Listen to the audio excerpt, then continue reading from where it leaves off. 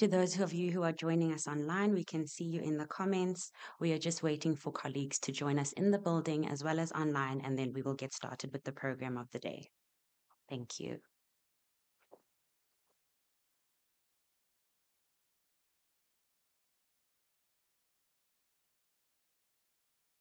hearing you, but there's no sound. There's no sound on Teams.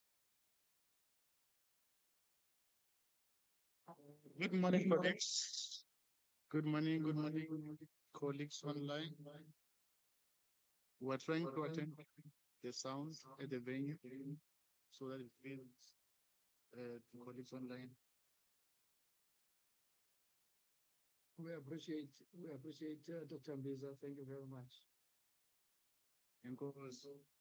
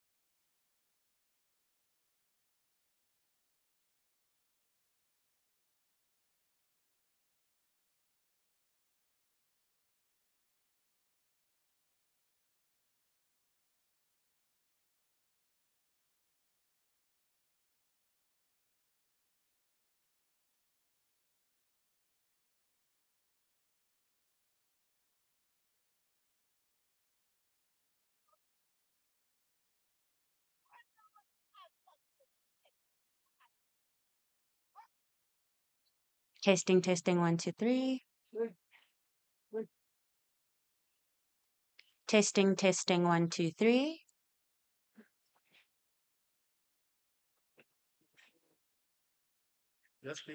Testing, testing. Can everybody hear me on Teams? Is the sound audible?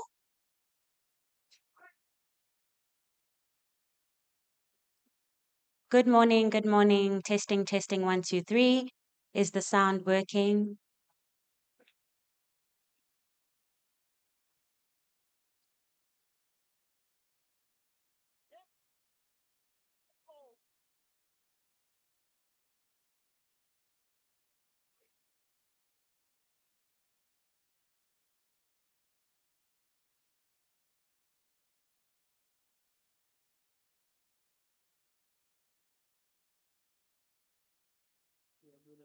Julian, and then Vivek.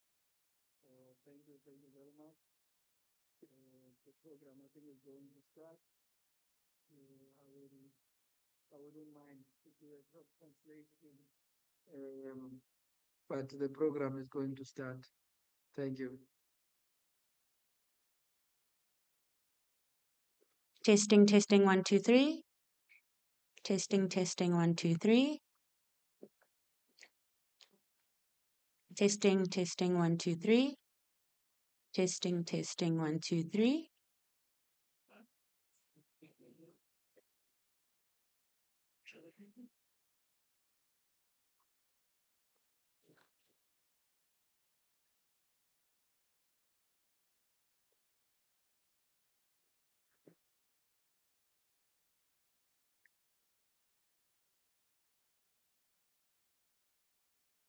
Testing, testing, one, two, three. Um, good morning, colleagues from Teams. Can you confirm that we have sound on your side? Can you please confirm? You can write a message, you can raise a hand.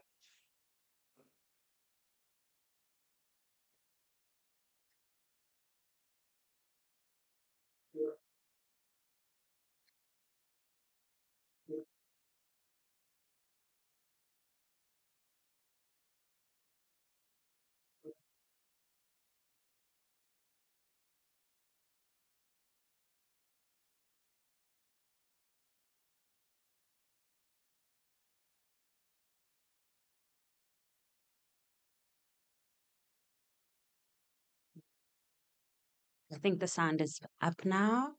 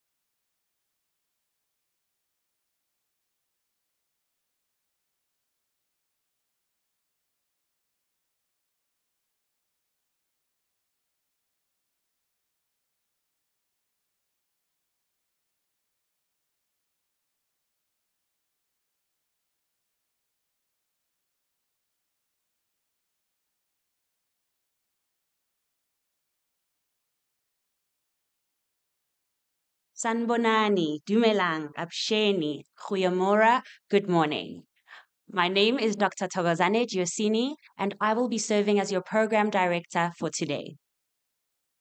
I'd like to acknowledge, in absentia, our Vice Chancellor, Professor LenkaBula, Deputy Vice Chancellor, Professor Meyiwa, Acting Dean in CEDU, Professor Makwe, Deputy Dean, Professor Mabunda, School Directors, Professor Dabane and Professor Seroto, Head of Graduate Studies and Research, Professor Gaza, Managers and CODs,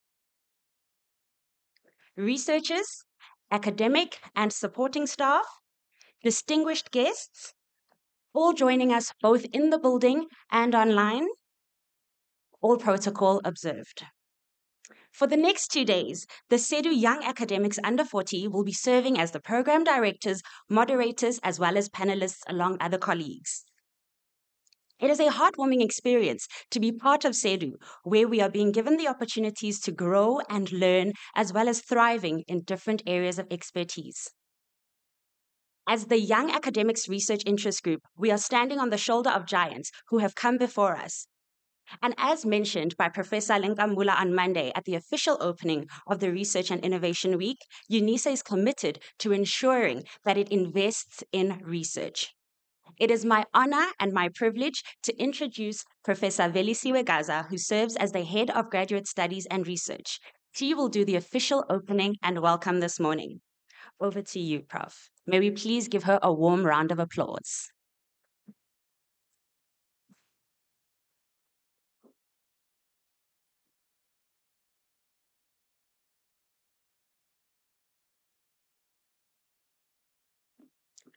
My dear colleagues and distinguished guests, good morning. Uh, thank you for gracing us with your presence in person or virtually.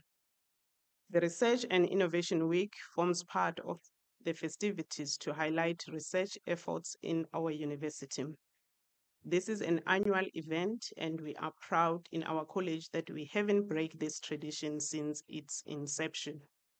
Research and Innovation Week aims to provide UNISA researchers with a platform for cross, trans, inter, and multidisciplinary engagements, collaborations, partnerships, networking, and showcasing of the various research activities and flagship, as well as recognizing and celebrating those researchers who have excelled in research we are always looking forward to this day, thinking of the topical issues that needs to be debated, thinking of innovation, innovative solutions that need to be shared, and thinking of cautious measures that need to be taken.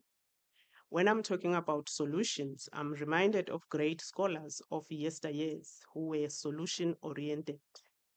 Many a times we researchers have drifted into a tendency to find problems rather than solutions. We go to different parts of our country or continent to engage with our communities and come back with more problems without solutions. We then make same recommendations that were recommended 20 years ago. We don't bother engage, to engage those communities in order to know why those recommendations never worked. I am happy that one of today's panel discussions discourse focuses on this. Ladies and gentlemen, we have put together a very interesting program where we will first do the launch followed by panel discussions. We have two panel discussions whereby the first panel discusses the topic um, research impact juggling between academic and real world impact. The issue of research impact is always hanging on our shoulders, and we cannot afford not to discuss it. The second panel discusses the topic being an emerging or developing researcher in the artificial intelligence age. The issue of AI has dominated academia recently, and proven researchers have debated and took their stance on it. However, emerging or developing researchers have not been given an opportunity to, to debate it. Hence, today we will hear from them. Before getting to the next session, let me appreciate our external distinguished scholars who graciously agreed to form part of our first panel discussion. It's Professor Yasmin Abtahi, University of Southeastern Norway. Professor Sarah Bansilal, University of KwaZulu-Natal. Professor Tony Essien, University of the Witwatersrand. Uh, Professor Aslam Fataar from the University of Stellenbosch. Dr. Najwa Norodien, Cape Peninsula University of Technology. Professor Kakoma Luneta from University of Johannesburg. And Professor Robert Q. Berry III uh, from University of Arizona. And ladies and gentlemen, before I turn back uh, to the session chair, let me wish you a delightful and stimulating day. Thank you.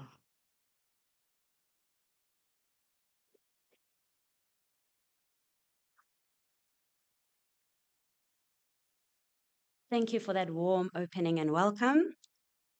We are now going into the launch of the CEDU Young Academics Research Interest Group. It's a very exciting time in the college, and I'd like to ask Professor Gaza to come and start our launch off before our colleagues join us on stage.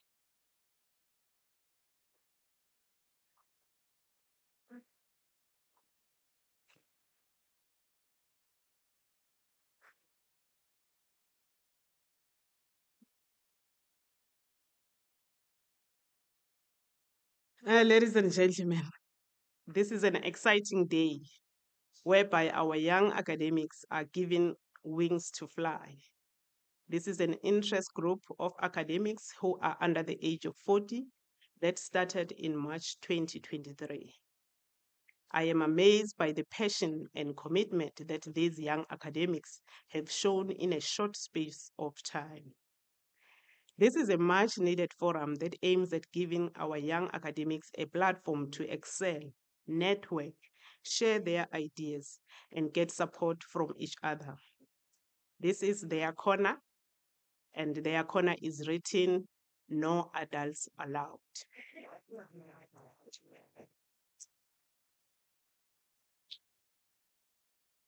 Uh, this means we will support them at a distance.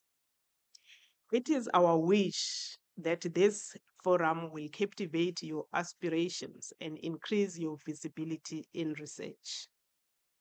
As this forum is aimed at being developmental in nature, it must ensure that you spread your wings and not be contained in a cocoon.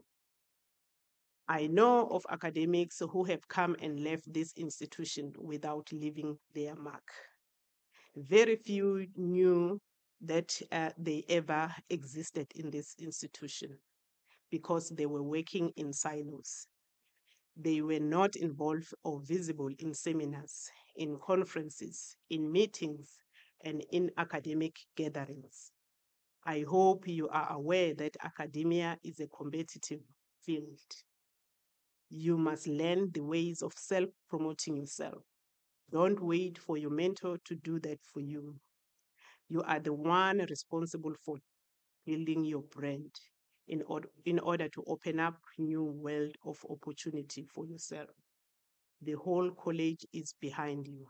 So claim your existence and take over. Thank you.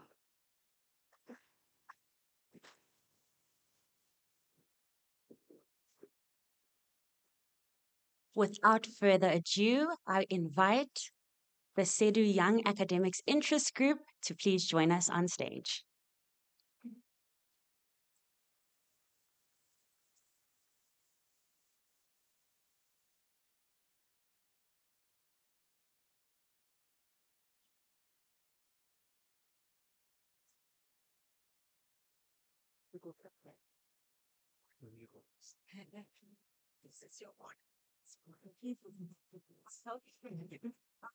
Carry and go. in Our corner.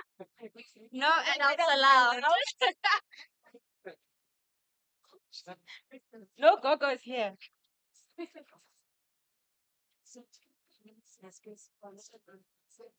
I thought we said we're not all supposed to be.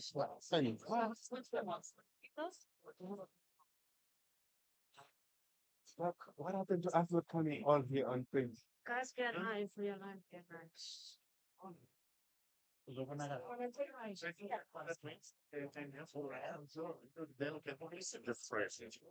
I think they're defining. Need us. Yeah. So, it's not gonna finish it end. No? You release us after introducing the thing committee. Okay. The mic. So,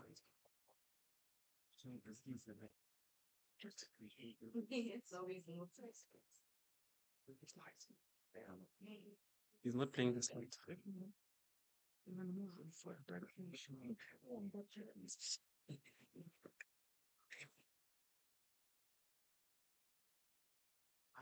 Can you get this light up? We're not gonna sing.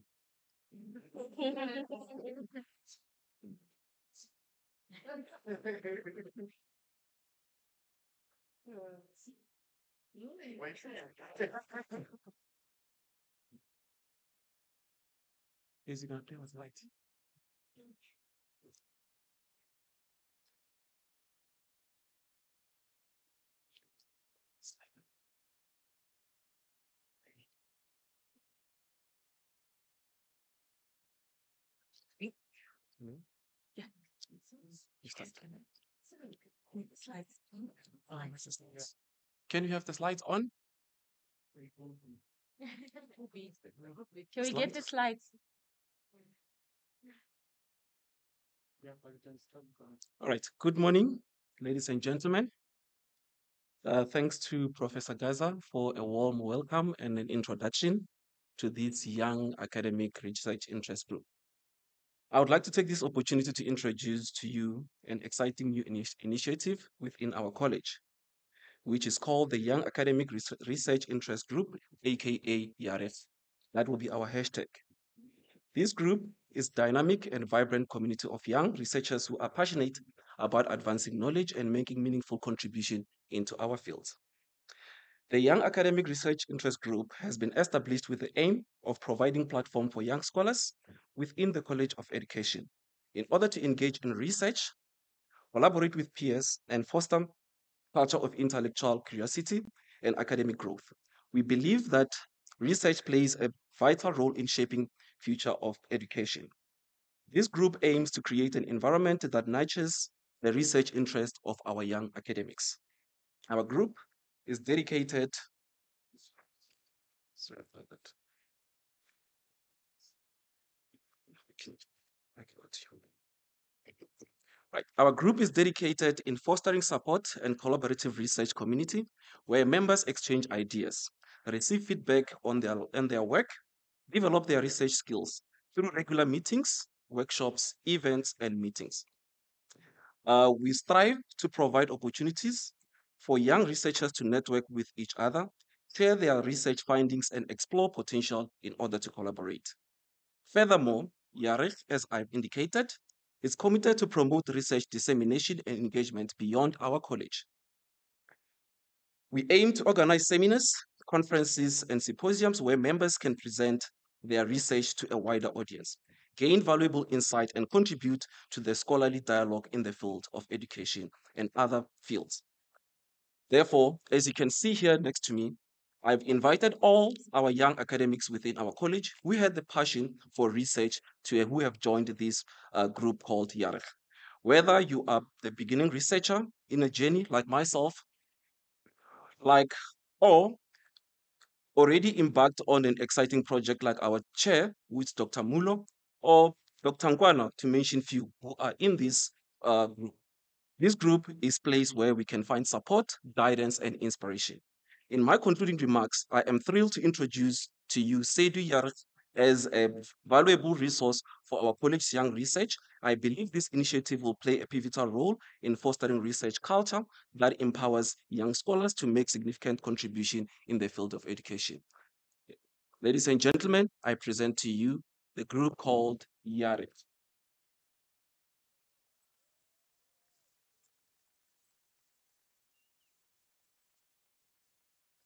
As you can see on the slides that I've projected, we are here to serve as a dynamic and responsive research community of excellence within the 21st century. And that goes as our mission statement. And I'll hand over to my co-presenter. Okay, thank you. Um, good morning, ladies and gentlemen. My name is Moleboheng Ramulumo, and I'm the vibe in the group. So I'm here to introduce the executive committee. Here we have our chair, uh, Dr. Hlamulo Mbiza, who is a lecturer in the mathematics education. And then we have Mr. Nati. Who's Nati? Okay, Nati is a researcher in the Institute for Open Distance Learning. And then we have Mr. Victor. Please show your face. He's a lecturer in curriculum and instructional studies. Ooh, and then here we have the sexy Miss Tokozani, Dr. Tokozani. Excuse, excuse. Can I just rephrase Dr. Tokozani? She's a, uh, where are you? Here she is. She's a lecturer in early childhood education and development. Okay, we have a missing child. Ne? I don't know where this child is. Uh, Dr. Elvis is in Bloemfontein somewhere. Uh, he's a lecturer in adults community and continuing education. We miss you wherever you are. And then we have Dr. Shabalala, who just graduated last night. She's a lecturer. No, she's not a lecturer in adults community and continuing education. She's from the best department in this college, the Department of Science and Technology Education. Please recognize. And then we have Mr. Zondo, a lecturer. Where's Mr. Zondo? Okay, I'm meeting my family for the first time today, so I need to verify. Okay, uh, Mr. Zondo is a lecturer in mathematics education. Hi, Bo. Okay, we had uh, the sexier version of me, but they decided to put me with my green hair because every month it just depends on the weather what color my hair will be. So here we have Ms. Ramulumo. Uh, I'm the communication specialist, as you can hear. I speak the latest version of English. Um, so I'm a lecturer in the best department, again, emphasis on the best, science and technology education. Okay, and then now I'm going to head back, oh no, hand over to our chair, who's going to be talking about developmental goals and opportunities for our initiative. Mr. Chair.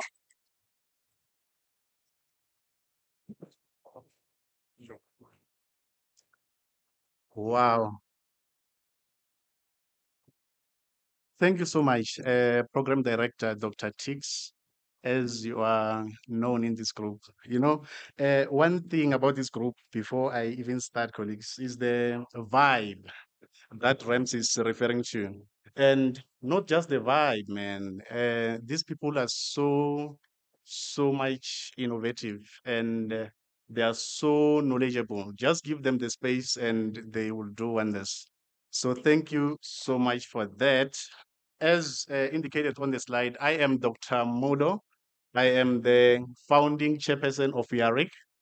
And it's nice, man. It feels so nice to be here, you know. Um, and the reason why I'm saying that is because um, throughout the other universities where I've been, I have had the privilege uh, of uh, working in different universities in South Africa. And I can tell you there's always that pushback, you know, when it comes to young people taking up space. Uh, there's always that pushback, uh, the lack of support that comes uh, with it, you know. Uh, to ensure that young people are supported and they are empowered to take up the research space and cement themselves. And that's why we are actually formulating or now launching this particular dynamic group that I can tell you that this particular group aims to wow you in all areas of research. Just give us space, be it in maths education, be it, be it in educational foundations, be it in science education, which is the best department as you had, you know.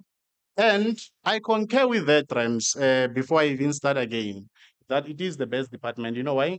Because that is where the majority of the young people in this particular group come from. So, yeah. So it shows, it shows that the Department of Science and Technology Education is serious about addressing issues of ensuring that the young people who are incorporated into the system that are also empowered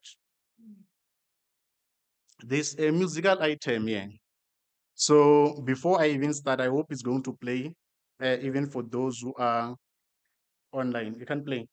Oh, okay. So we'll pass. Uh, because we want to show you that we are vibing, but at the same time, we can actually um, come and actually get together and talk about issues that affect us, but also in configuring strategies that we can use, you know, to create change in the world because that's what it's all about. It's not just about research, It's not just about us coming together and counting numbers and saying that nine people from science or all of us are 45 or 42. No, it's about impact. It's about coming together and doing quality research and ensuring that we actually support each other from within. So what uh, Yarig actually does, and what I have seen since March uh, 2023, believe you me, colleagues, and um, those who are joining us online, this particular group is here to stay. Because we, we, we know of initiatives uh, that come or that are actually supported, but uh, you find that they just vanish into thin air. We want um, 150 years to come, as we're celebrating 150 years. We want to see Yarig still in existence. Of course, uh, some of us are not going to be there to witness it, but we are going to lay a solid foundation to ensure that those who are going to come after us find a home when they get to UNISA. The young people under 40 are going to be embraced by this particular community. That's what we're trying to build here. And over the past months, you know, when we meet in, in our meetings, you know, uh, you'll dread when there is a meeting um, invite uh, that says, okay, come. Uh, there's a meeting, you'll, you'll dread going to this particular meeting. But believe you me, when there's a YARIG meeting, you see people rushing into the meeting even 15, 20 minutes prior to the meeting even commencing. And that shows the commitment that these people are serious about uh, ensuring that this particular structure gets established. Let me not get carried away because I talk too much. So thank you, Prof. Gasa, for um, uh, this particular um, uh, structure and all the colleagues in the um, institute. Uh, we thank you so much. Uh, the Vice Chancellor, Deputy Vice Chancellor, the deans uh, in their respective portfolios, our directors and CODs. Thank you so much for this particular uh, platform. And like I said, we aim to please, but not only please, but we are going to deliver high quality and impactful research that is not only going to be impactful amongst ourselves, but globally. It gives me a great pleasure to start off with achievements. And the reason why we are starting off with achievements is that Prof. Gasa said uh, we started in March, but we're already busy in our little corners, isolated in our little body corners. You'll hear uh, in the room, the language is body this, body that. So we call each other body in this group, you know?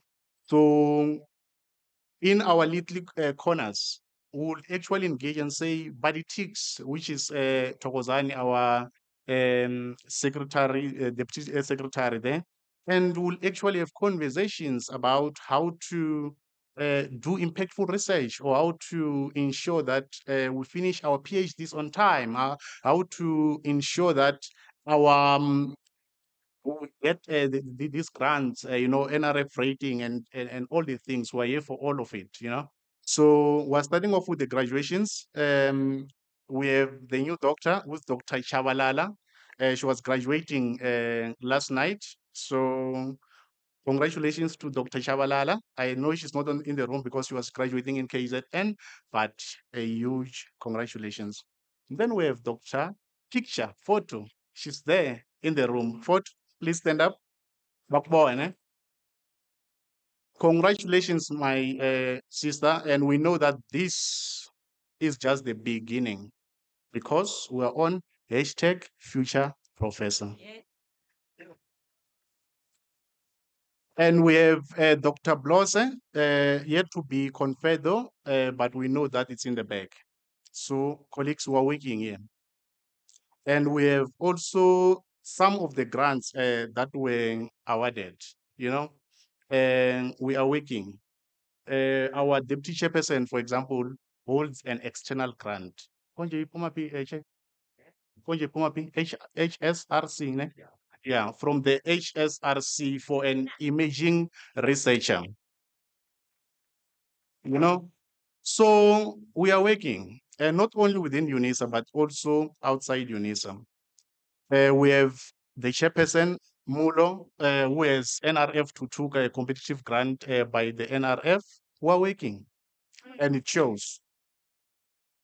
We also have um, an NRF rated uh, scholar amongst ourselves, who's uh, Dr. Elvis Nkwana, is Y rated, and we love it for that.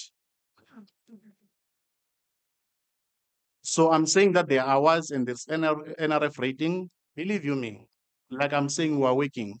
There are eight members who already applied for Thuthuka from this particular group, and we're confident that those particular applications are going to be successful.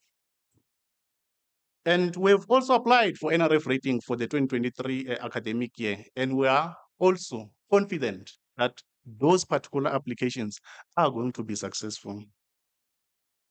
In this particular group, I, we did not even bother to count because we're going to shock you when it comes to actually reporting on our research outputs. So we've submitted and already published uh, papers and um, also book chapters as well as conference proceedings. And when the report comes out, Prof. Prof. Gasa, you'll want to put money on the table. Unfortunately, I'm hearing that you can't play. Um, That one we can play. oh, we can play this one. Play. So that was uh, Dr. Shabalala to show that we are taking up space and we're doing things differently. Uh, I'm not sure if the sound is coming up.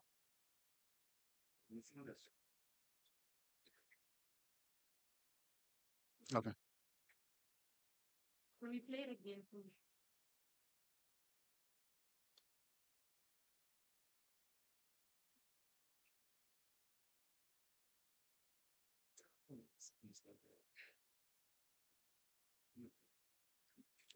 I hope those who are joining us uh, on Teams are able to get a better sound. But that was Dr. Shabalala as she was graduating at the university, uh, or rather at the University of uh, South Africa uh, in KZN.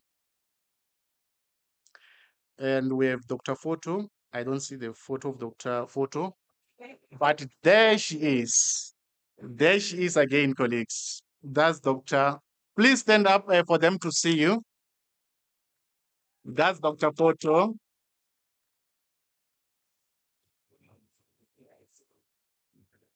So thank you so much, uh, colleagues. In terms of the um, goals uh, or some of the opportunities in this uh, particular group, I'm going to allow our um, uh, deputy uh, chairperson, uh, Nativish, who's Dr. Nati, to actually take us through some of these opportunities that you can have in Yarig. Ya- Yarig is such a dynamic space, colleagues, and like I said, we're committed to coming together and supporting each other to produce high quality and impactful research. And these are some of the opportunities uh, that we have committed to uh, actually support each other, the, the, the- some of the pathways that we're going to follow to support each other to realize those particular dreams that we have. Uh, Chair?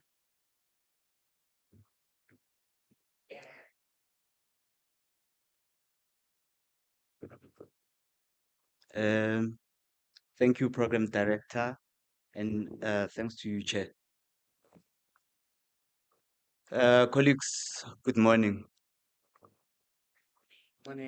Good morning, colleagues. Um, I want to to say, Prof. Gasa, we are grateful for introducing this initiative to us and also distancing yourself and say, you guys take over. and we have done that. Yeah. Thanks to the leadership that uh, um, you have actually saw in us. Uh, for me, this is transformation. Uh, this is transformation because okay. For me, this is transformation. Sorry, can you please keep touching the mic because it's creating some unnecessary noise. Ye- yes, I got it. Yes. Yeah. Um, I was saying, colleagues, for me, this is transformation because now this is a group of people who are under the 40, the age of 40 years, yet they have achieved a lot. Um, this is something that took our parents or the previous generations a minimum of 40 years to achieve. Hmm. And as said, we host one of the youngest PhD graduates. So I think we are doing well and we should give ourselves another big round of applause. Now, as the group, we had um, a series of meetings. We sat down, we discussed uh, what should be the objectives, our mission, and activities that we should embark on. Now, I'm going to share with you all the activities and the opportunities that we are pursuing.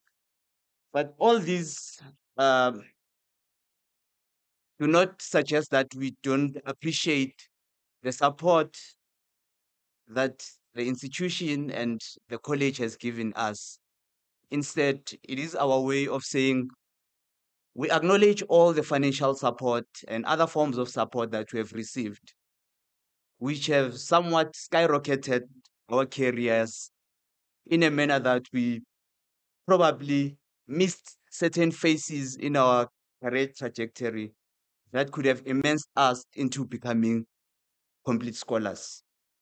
So we are trying to fill those gaps, but please do not just see us as a group of young people who are filling gaps. No, we are a capable group of young people who have proven themselves through the publications, through the grants that we are holding currently, as the chair alluded.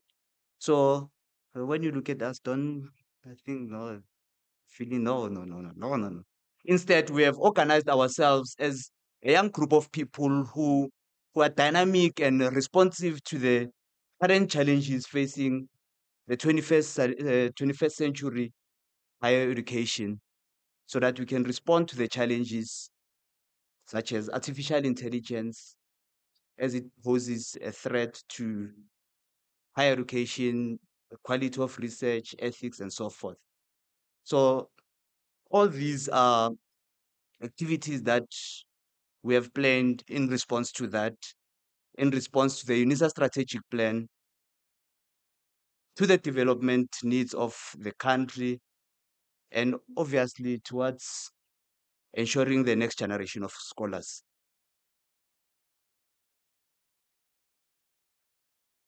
So we plan to obviously build essential research skills, build a research and innovation network of young uh, colleagues from across disciplines and other CEDU areas, access support uh, resources, work together to generate funding for uh, group research developmental activities, and to develop uh, professional relationships and connections. So um, how we are going to do this is we've categorized the activities that we are going to do into about 13 categories. Yes, we will rely on um, the financial support uh, in order to pursue some of them, but some of them we actually, because of the capacity that we have, actually pursue them without the necessary or without any wherewithal to do so. So these activities that we are going to or we are planning to embark on include the CEDU Young Academics Writing Retreats. We are planning to have uh, two retreats per year. Uh, we are already deliberating on that. Academic uh, writing training seminars. I'm not sure. I think we've had one already. Uh, development of a virtual writing center. I can report that yesterday some colleagues were already grilling the chairperson um, on his paper, and I think it was a, a fruitful, uh, very right. Yeah. So um, uh, conference attendance. Uh, I'm I'm glad that uh, we've got uh, colleagues who have already done that. Some of you uh, attended the Namibia conference. Uh, I know even our young PhD graduate attended, so that's a good thing for us. Submission of at least one uh, to three research articles per year.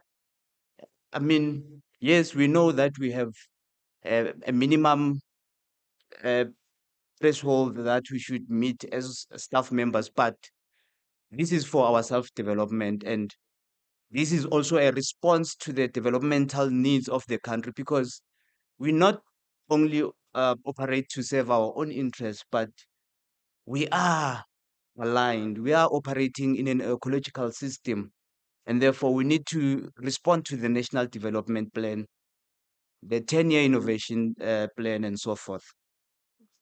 Apply for working group funding. Uh, that's what we are planning to do as well. Apply for external compe- uh, competitive uh, scholarships. We do have uh, researchers who are under 40 who are already having that experience. Apply for internal and external competitive grants. Establish an interdisciplinary body system. Create victories of the month reflection and support platforms. Apply for NRF rating. I'm glad that some of the colleagues have already applied. Uh, shut up and write working groups and obviously because we are still young other non-research related uh, focus Ekaladina, yes. But uh, colleagues, um, we're also working on uh, uh, mental health issues. We know that there are internal and external factors that affect one's mental health. But as a, a- a network of young people, we try to give each other a helping hand. And we also urge everyone to say, behind every person smiles, we don't know what um, where they come from, what their background is. So if we can all try and make CEDU a conducive environment for everyone so that we can maintain their mental health. We appreciate your support and thank you. Thank you. Thank you so much, uh. You know, um, as you're busy uh, speaking, I'm like, we deserve a young spokesperson at UNISA. And this is the person who's going to defend our institution against all those uh, attacks out there. And the launch of Yari comes at a better time when UNISA is so much under attack, you know? And I believe that as the young academics who are bringing the new voice, the new vibe, and we're going to take up space and ensure that UNISA is well represented uh, both uh, locally and internationally. We're taking up that particular space and we're not going to look back. That is the declaration that we're making to say, as the CEDU Young Academics Research Interest Group is going to start with us, that we're going to actually change the narrative about UNISA. We're going to change the narrative about UNISA. We're going to change the narrative about CEDU. We're going to change the narrative about South Africa itself.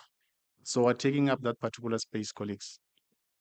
Uh, for our mothers and fathers, just do a reminisce of when you were 30, 40, 50, 60, you know, and find it in your heart to allow us to grow, to be where you are. You have had your time and you have enjoyed and you continue to enjoy. Allow us to grow, allow us to fly. And we're going to take up this particular space and cement ourselves. We're going to come back to this. I am quickly going to introduce some of these dynamic members that we'll speak about because someone can say, ah, no, that, that one was staged. You know, that one was staged. Uh, All those white t-shirts. I know. You know, uh-uh, we exist. Um, I'm going to introduce all the YARIG members, starting with uh, Mr. Sianda Tele, who is a lecturer in the Adults Community and Continuing Education Department. We have Mr. Purua uh, Pumuzo, lecturer, Adults Community and Continuing Education. And we have um, other ones from Adults Community and Continuing Education, uh, lecturer Mr. Tulani Chauke. Unfortunately, we didn't get his picture. We have the dynamic and uh, very vibrant Mrs. Bakang Chite uh, from the Curriculum and Instructional Studies. We have Mrs. uh, Christy Kotz uh, from Curriculum and Instructional Studies. We also have Ms. Noma Shubi Sicha, lecturer, curriculum and instructional studies. So you can see, colleagues, which departments here are important about addressing issues of ensuring that young people are in their departments. Because when we speak about the succession uh, plan, the young people are supposed to be in the system. It cannot be that we still hold up space and not create spaces or open up opportunities for young people to take up space and grow within the institution. We have again in curriculum and instructional studies, Prof. Van Wyk, you are doing a good job. We have uh, Mr. Nduduzo Tabashe and Dr. Ntando Amezi Dlamini. And now we move over to uh, early childhood education. Dr. Mzoli Mnganga uh, is online. Uh, we also have Mrs. Aisha Karim from Early Childhood Education and Development. We have Mrs. Tembeka Miende uh, from Educational Foundations. Sure, uh, Secretary, uh, let me go back to it there. So our secretary is also from Early Childhood Education and Development, and not this one, but our uh, program director for for this morning. Uh, she's from early childhood uh, education. So also, ECD is also doing a good job. We have um, Mrs. Miende, and we have Dr. Ndwandwe from Educational Foundations. Educational, uh, so we have a postdoctoral uh, fellow, uh, Dr. Precious Muzite. So it's not only the colleagues who hold academic positions, but we also embrace our postdoctoral fellows because we believe that they are here to develop into scholars, into academics of note, and we welcome them in this particular group. We have Dr. Pimelo Ngidi, uh, Language Education, Arts and Culture, one of the grillers in the uh, Visual Writing Center. It will give you constructive feedback, and when you move from there, you really uh, think twice about how you want to structure your paper. We have the vibrant uh, Ms. Duduzile Penelope uh, Zwane uh, in Language Education, Arts and Culture when it comes to issues of dancing, believe you me. but not only dancing, huh? she's good, a very good academic. Then we have Miss Kim Miller. Uh, she runs this one. She's a runner, not running away from the uh, actual group, but she's a professional runner and a great academic uh, in language education, arts and culture. And we have Dr. Uh, Tulin Tuli from the best department, science and technology education. And we have Dr. Photo, science and technology education. We have Mr. Katuchero Munasi, uh, science and technology education. We have Mr. Lawrence Masube, science and technology education. Present. We have Mrs. Jody Lee uh, Hussein from science and technology education. Then we have Mr. Samuel Mampa from science and technology education. We have Ms. Mathaku Chwene, science and technology education. So, colleagues, We still have more. Oh, we still have more. Oh, from science and tech. Yeah. You see, Dr. Letasi Kosana, our youngest graduate at UNISA, from science and technology education. Then we have Dr. Princess Blose, again, uh, science and tech. Dr. Ernest Mazibe, believe you me, you come, you come to our visual writing retreat, you'll get formative feedback, believe you me. One of the guys, Dr. Ernest uh, Mazibe, then we have Miss Arieta Ngakane, Science and Tech, and uh, Katuchero Munasi, Science and Tech. So this is just to demonstrate uh, to all the CODs uh, present in this room and also online to say, create spaces. Dr. Madigizela Madi, your department, ma. let's create space for young people. We have uh, Mets Education, um, Matlatsi Moila, we have Dr. Faiza Gani, uh, who is the coordinator, quality assurance uh, in CEDU. We have Dr. Kelly Young in the IODL. Other uh, IODL members are Ms. Uh, Sharon Rose uh, Sefura. Then we have the postdoctoral fellow, uh, who's part of the UNESCO Chair ODL, Dr. Akintolu uh, Morikinyo. And we have the youngest member in the group, uh, Ms. Ineling uh, Sivate, an aspiring academic. She's in administration, but she aspires to become an academic and are supporting her.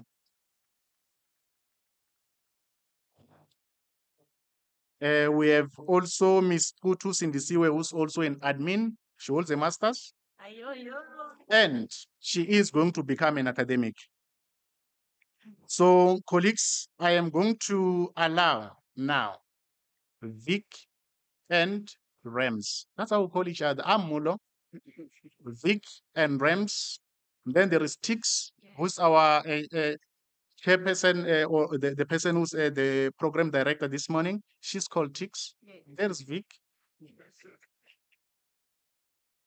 And uh, Prof. Jojo in your adult corner, she's called uh, Jakes, okay? Uh, so I'm going to allow them now to have a bit of a conversation or reflection with some of our members on what we've done so far. Just a brief conversation with our members, just to show you that we are working. Thank you, Chair. Um,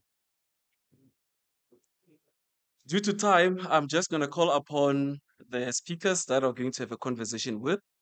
Um, Dr. Precious, you may remain seated where you were. Uh, Ms. Bakang, uh, quickly come to the floor.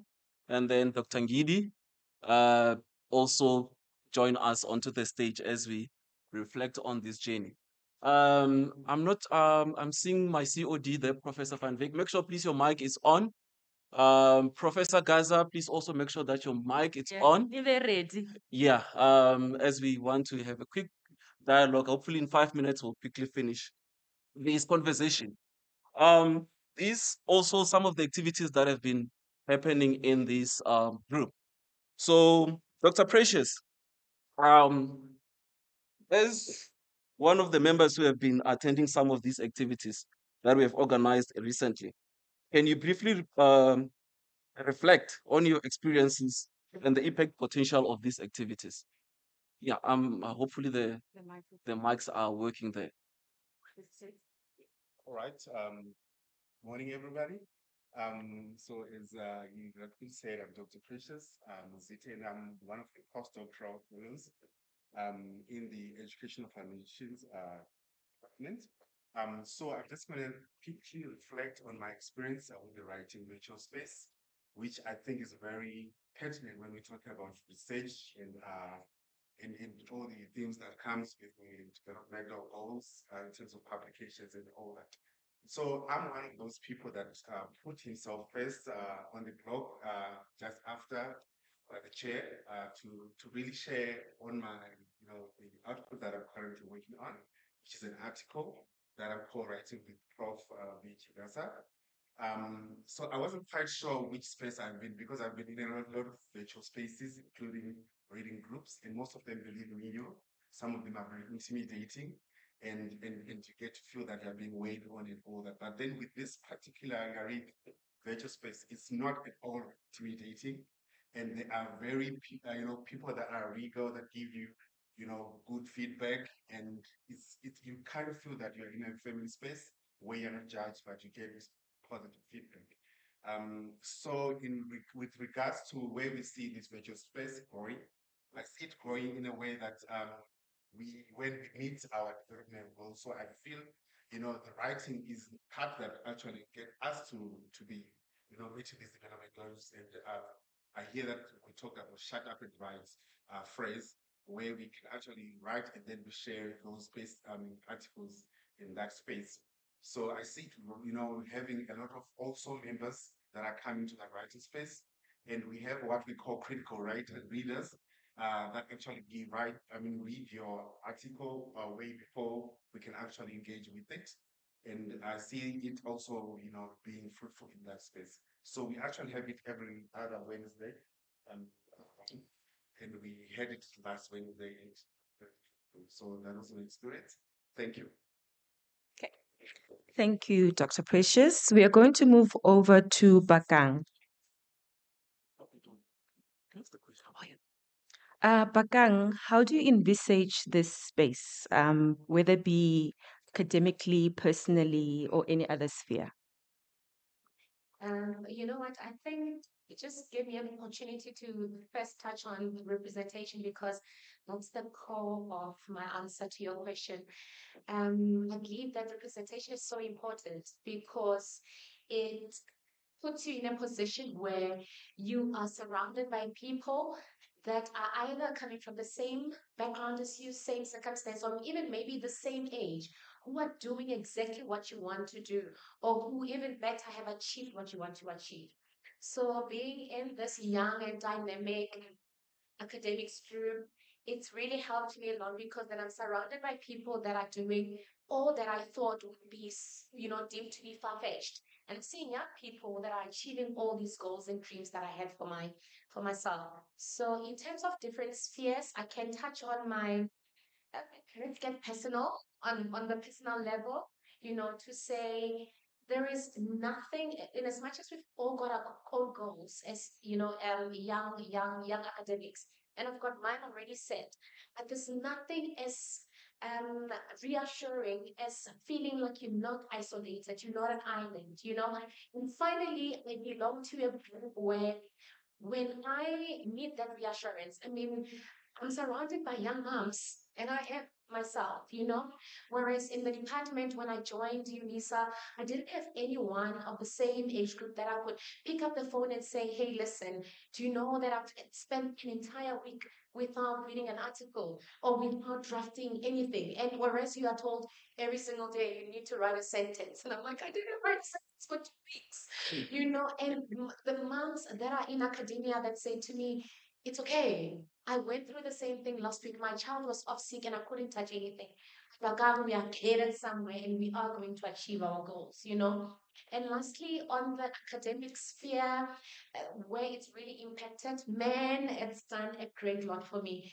When I joined UNISA, and I'm going to just say this for the sake of vulnerability, because while we're having this chat, if I'm not going to be open enough, you know, I joined UNISA in 2021, and I used to feel so insecure to share my wildest dreams because I used to feel like, who do you think you are? You're surrounded by people that are only reaching professorship at 60, 50, and you want to come here and tell us you want to reach professorship at, I'm not going to mention it yet. And you know what? I I joined this group. I met Tokozani, who was 30, who's a, who's a doctor. I met Dr. Skosana, who's 27, who's a doctor. I talked to Vic, who's almost becoming a doctor. I interact with Dr. uh, with Scott, Miss Scott, who's, you know, everyone else who's inspiring me and who's making me feel like, listen, girl, your dreams are not far-fetched. Yes. And I'm going to say it now because it's not far-fetched. That I will be a professor by 40, and I'm also not saying Yes. at 40. Yes. I'm saying by, you know, it, it, I'll, I'll tell you what has propelled me and what has encouraged me so much is belonging to this group, and I'm so grateful. Thank you. Thank you so much.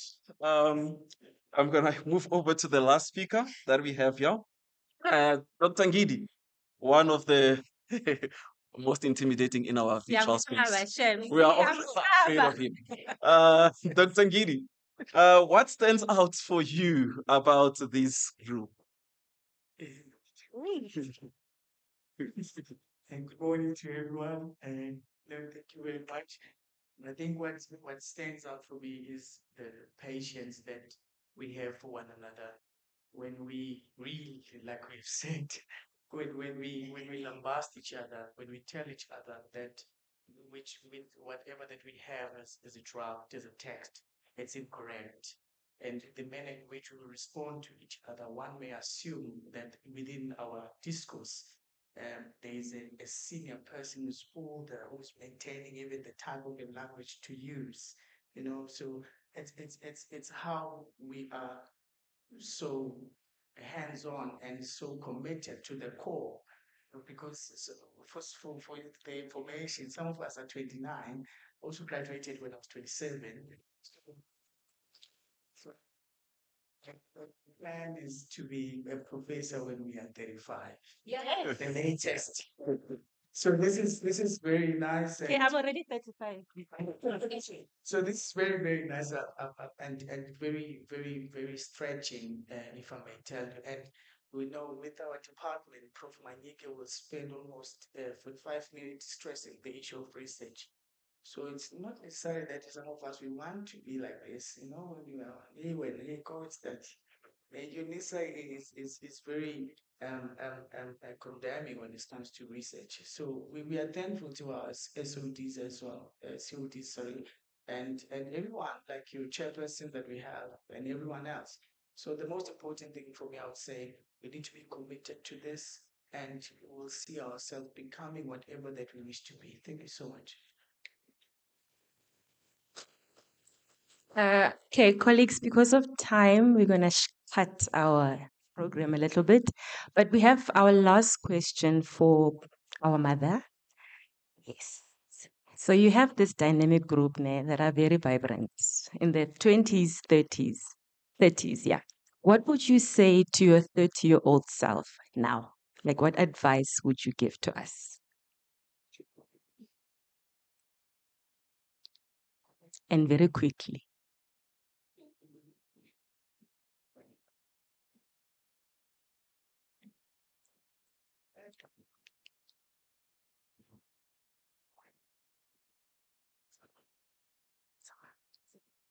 The other one. Yeah, so it's Okay. Oh, this is a difficult one. Uh, I wish I had um, this opportunity that you are having now.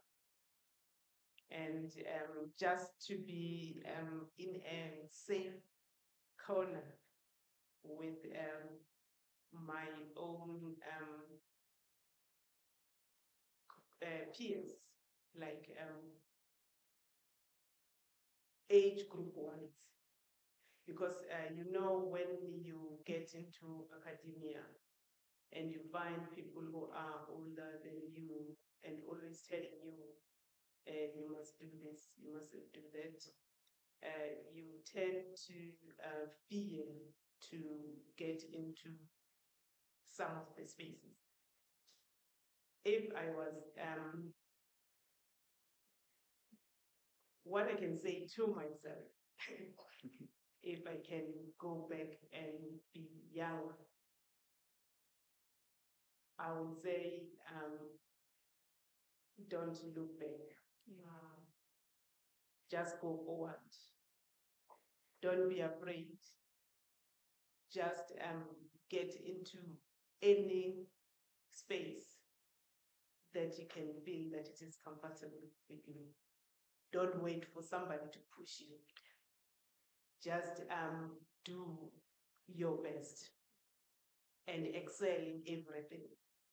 Because with that, um, it will um, show even the people who will try maybe to say, no, don't do this. You know, when you are younger and very young, every time when the child is touching something, said, no, Mm.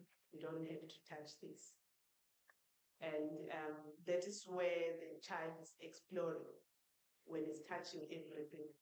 So I was going to allow myself to explore, to excel, not to look back and only have a focus. Because sometimes we lose a focus when we are in academia. When we come to academia, we find that um, maybe there is no, we, we think that the, the, the research space is um, um, reserved for a certain goal. And for us, it's just to sit down and um, do um, uh, modeling and forget about research. So I was going to say to myself, work for 24 hours. Because uh, we know most of the time um, the research is done after hours. We don't do research during office hours. During office hours, we sit on the modeling. Then after hours, that's when we start doing research. So I was going to tell myself that, okay, let me not complain saying I want to do research.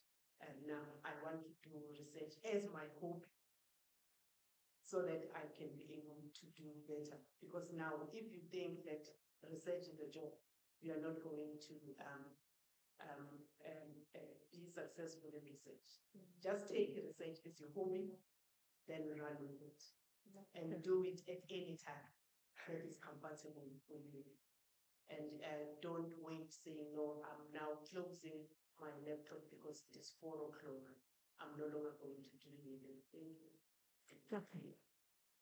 Thank you so much, Professor Gasa, for those wise words and advice to majority of us who are in this space. Uh, as I've already explained, due to time, the program, we wanted to also talk to our CODs. We wanted to ask them to pledge their support to this dynamic group. If you have seen on the presentation by our chairperson, um, I think the number there, there was a mistake. Uh, science and technology education uh, has 15 members in it um, that are in this group. And if you look at the other, the second biggest uh, or with the large number, I think it's curriculum with six uh, members. And the rest, they're averaging two, if not three. So there, that's the reason why we wanted to have a conversation with um, the COD to pledge their support in this group. But we're still going to come into your doors and we're going to knock on your doors and hopefully we're going to have the space to have that conversation. And in those few words, I would say in my language, I can say, I thank you.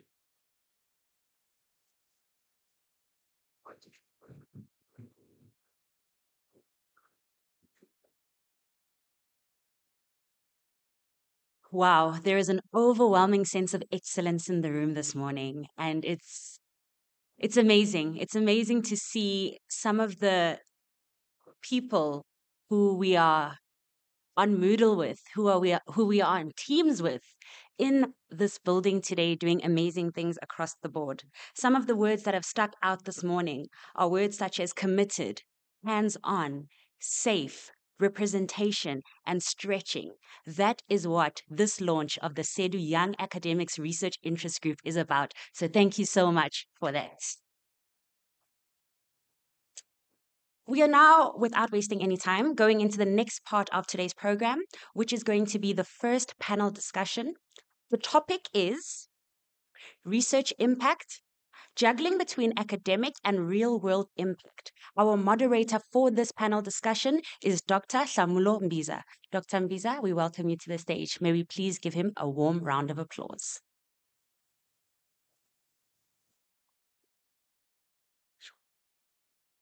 Thank you so much, Tix.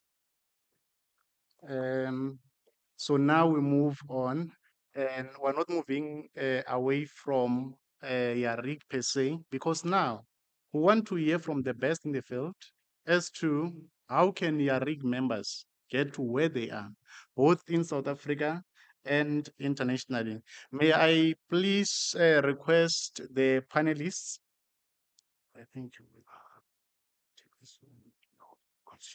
Thank you.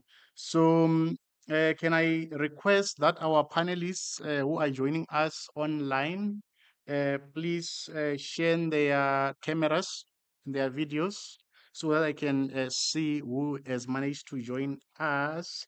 I am seeing the beautiful faces of professors um, Sarah Bansilal, Professor Yasmin Abtahi, I'm seeing uh, Dr. Najwa, I'm seeing Prof. Fatadeng, I am seeing Prof. Luneta, uh, Prof. Essien, are you there? And I'm not sure about uh, Prof. Q. Berry.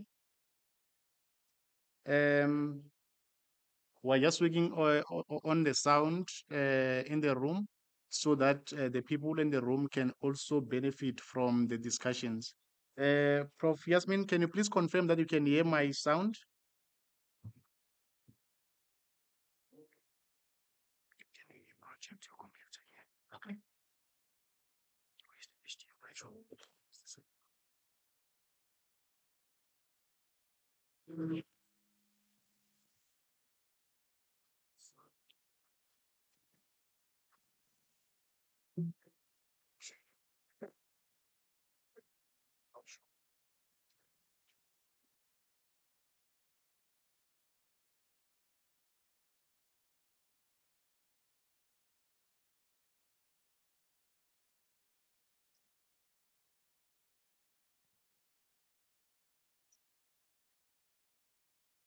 Thank you so much. So, as I was saying, now we move over to um, speak about impact.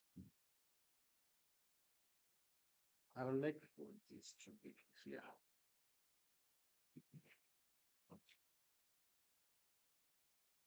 Okay.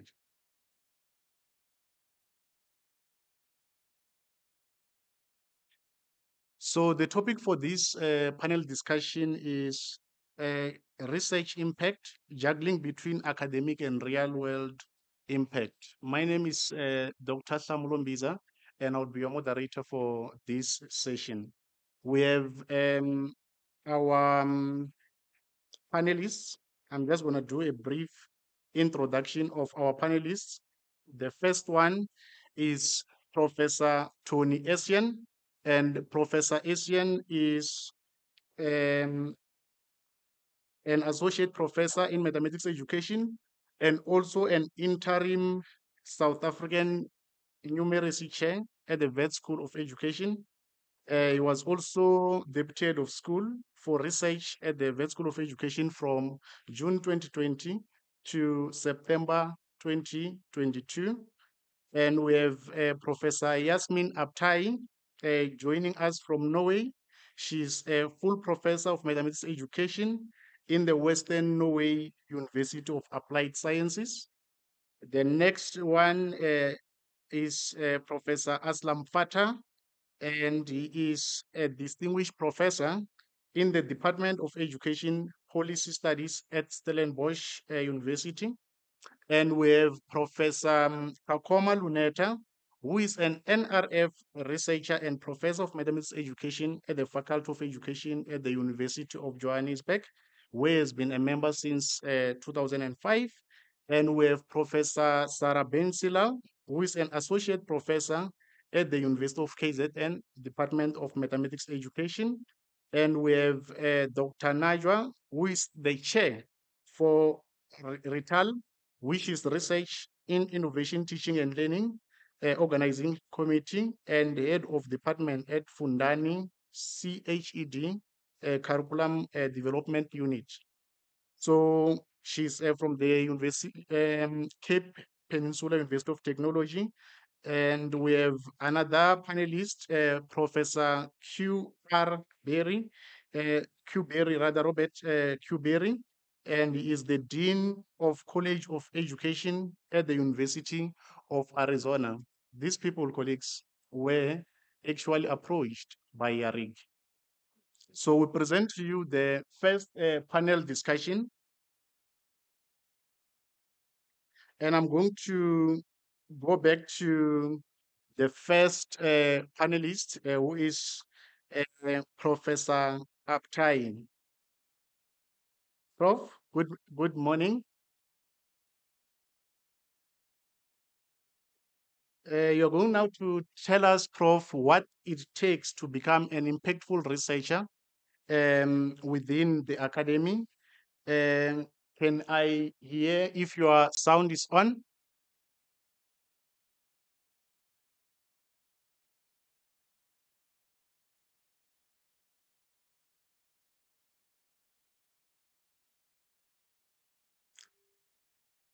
Prof. Abtahi, is your mic on? Are you able to hear us?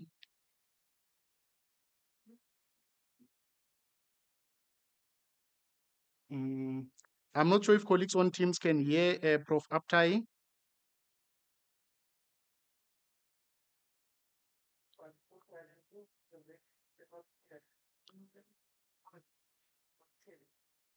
Ah.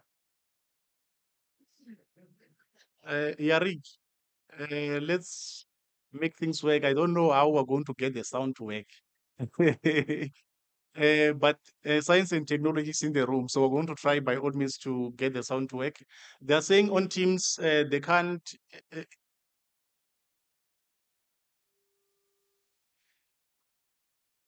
She she has unmuted.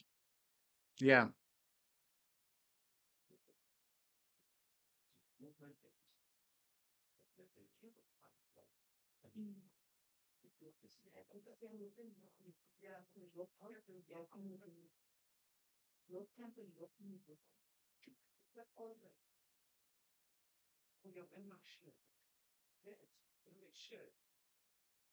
They must share with the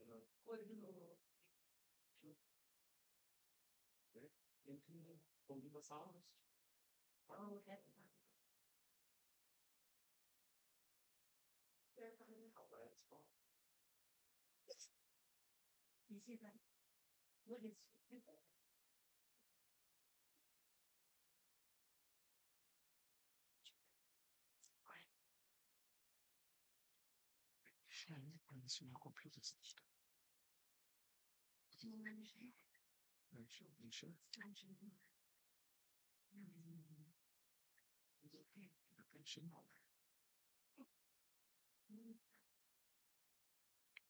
Uh, our ICT is uh, assisting us colleagues online. Are you able to hear us?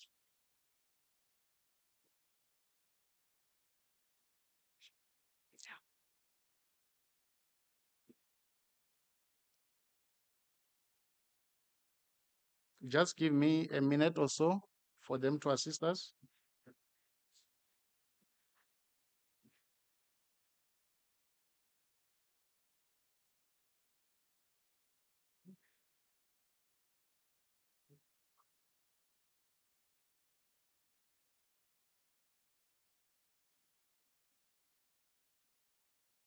Okay, can we Uh, try that again? Uh, sorry, colleagues on Teams. Uh, can you unmute and and and speak so that we we we can you unmute on your side and speak?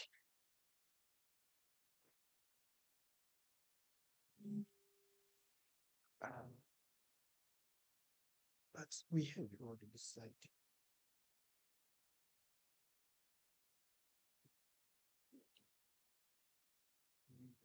No one is speaking. Uh, Prof. Bansilal, please try from your side.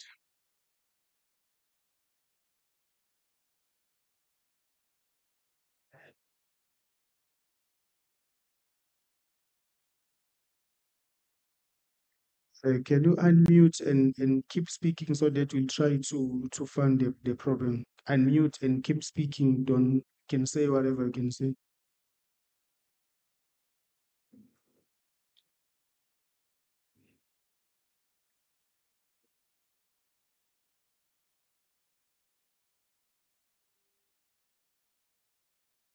Okay.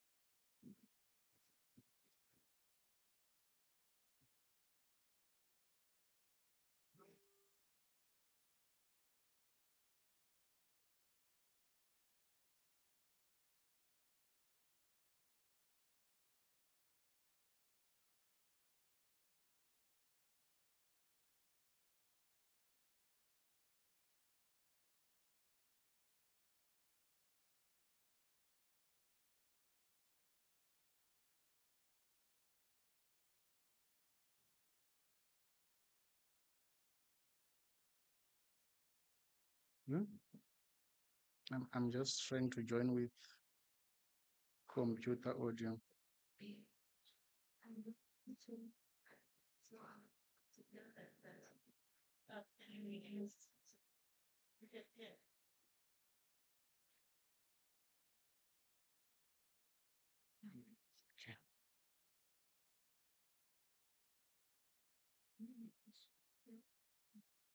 You mean on WhatsApp? It does. Yes, Said they can hear you, but um, we can't hear them. Are you able to hear us now? Good uh, morning, colleagues. Yeah, we No. can hear you. Can you hear me? Yes, yes, it's fine. You can you can you can start. I think it's it's sorted now. Okay.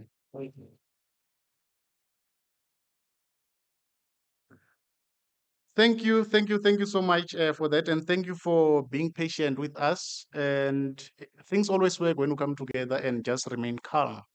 Uh, like I said, we are now moving into the first uh, panel discussion. And in this uh, particular panel discussion, we have uh, Prof. Yasmin Abtahi, uh, Prof. Luneta, Prof. Um, Najwa, uh, Prof. Fataar, Prof. Sarah Bansilal, and I think I need to admit uh, Professor Tony Essien into the meeting. Just, just bear with me, colleagues. Um,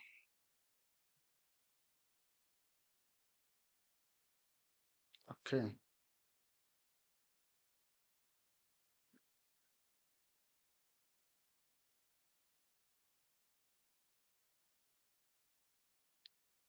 Thanks, Mike. Uh, thank you so much, uh, colleagues. Uh, so we say that this particular panel discussion is research impact. It applies to both the young, the old, the soon to retire, you know, and um, it's about research impact. How, how do we juggle uh, between academic impact and also uh, impact outside of academia. So I'm going to start with um, our um, panelist, uh, Professor Yasmin Abtahi. When you saw this topic, Prof, before we get uh, to the business of the day, what came to your mind? Um, um, can can you hear me okay? Yes, we Yeah. can hear you well now. Mm. Perfect. Thank you. Thank you so much for the invitation and uh, thanks for having me here. I uh, the first question in terms of uh, the impact, um, for me, what comes to my mind is impact is more than just academic impact, which then unpack it later. There is also um, capacity building uh, that's part of um, um, the research impact, informing policy. So it goes more of in the academic community and then parts of dissemination and also social impact, including um, policy formation, and, uh, informing uh, practices. Thank you. Thank you so much uh, for that um, input. Prof. Luneta, let me uh, bring you into this conversation. When you were given this particular uh, topic, when we invited you and you so gladly agreed uh, to come to be become one of the panelists uh, in this session, um, what really uh, came through in your mind? What was one thing that you said, this one I'm going to share?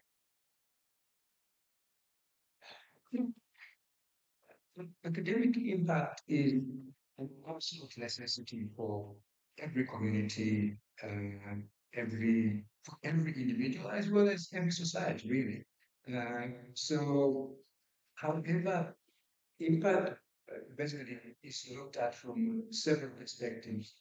Uh, like uh, Yasmin has alluded to, there is a social perspective as well, which is very critical, and to not only the the research and the citations that that that, uh, that are looked into, but how impactful is one in terms of the people that they interact with? What do they learn from the individual, and, and how much does the individual inform the society? And I think that those are the issues that were just coming out as I was thinking about this conversation.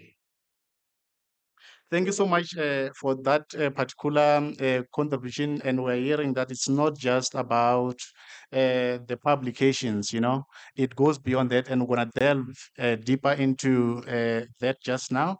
But let me welcome also Prof. Na- Dr. Najwa into the conversation.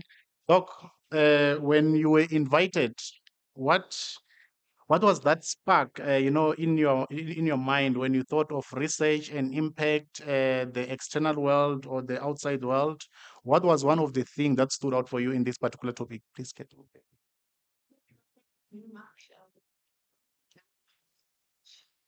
Um, the, one that um, struck me as an academic, and as an academic uh, doing research, Technology where I am, is that tension between research and, and teaching.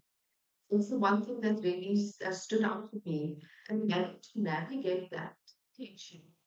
Um, and to have to, to make an impact, you have to be like uh, Professor Yasmin mentioned, of policy. It's um, Professor Kakoma also uh, uh, mentioned policy. It's quite important for you to be aware of the policy demands um, and as well as practical applications as well. You have to be able to disseminate the practical uh, application of your research to your audience, academic and non-academic audiences. Hmm. Thank you. Hope do you hear me? We can hear you, and Yeah. Th- thank you so much uh, for that uh, insightful input. I, I want to hear from uh, Prof. Tony Essien because, you know, for me, when I started, I was like, ah, I publish in the best journals, you know, and uh, since I publish in the best journals, it simply means that my work is going to be found and read uh, globally or internationally, you know, um, by the researchers in my field. So I don't actually have to worry about anything else. Am I right, Prof? Essien, please come through. Because that's just impact. I, I publish, I do my research, I publish in high impactful journals, and my work is out there. That's impact, right, Prof? If, please confirm you can hear me. Yes, we can. Yeah. Okay, um, I I apologize, my laptop connection was going on, I can't turn my video on. But I have joined also on my phone. So if you can kind of um let me in also on my phone, then you'll be able to see me. Okay, but what I do that I'm, I'm trying to answer your question. Um, for me, there are at least two, I'm sure there are many more benefits in publishing in high impact or top journals in one's field. Okay, the first is simple. One, um, could, um, publishing in such journals could significantly um, increase one's citation and citation scores, and, and by that, all those things we know, H index, i10 index, and all that. But secondly, publishing in top journals in one's field would lead to to more recognition in the field and all that this implies, including being invited to give plenary lectures and talk conferences in one's field. So let's go back then. I publish in the best journals I can, which means my work is going to be found and read by all the important researchers in my field. So I don't need to do anything else, right? No. I need to do something. Tell us. Let's start with the first. The conferences. You need to make yourself know. In conferences, and ways of doing this is to join special interest groups where we've established and emerging scholars in a special interest group to produce more research um, and lead some of those um, research work. I, I can't overemphasize the importance of networking, of course, when you are at a conference. Hmm. Okay. Then the second thing you need to do, it's published in high impact journals and you think everyone will see it. No. Use platforms like ResearchGate, uh, academia. Is, is that me echoing or? Yeah. That me? I, I think you, because you take both, uh, what's the laptop on your phone? No, I am um, muted, so it shouldn't be. Okay, can you what? Can you see me? Because if you can't see me, I just turn off my phone. We can't see you yet, Prof. We can't see you. Okay, so I'm just going to leave this. All right.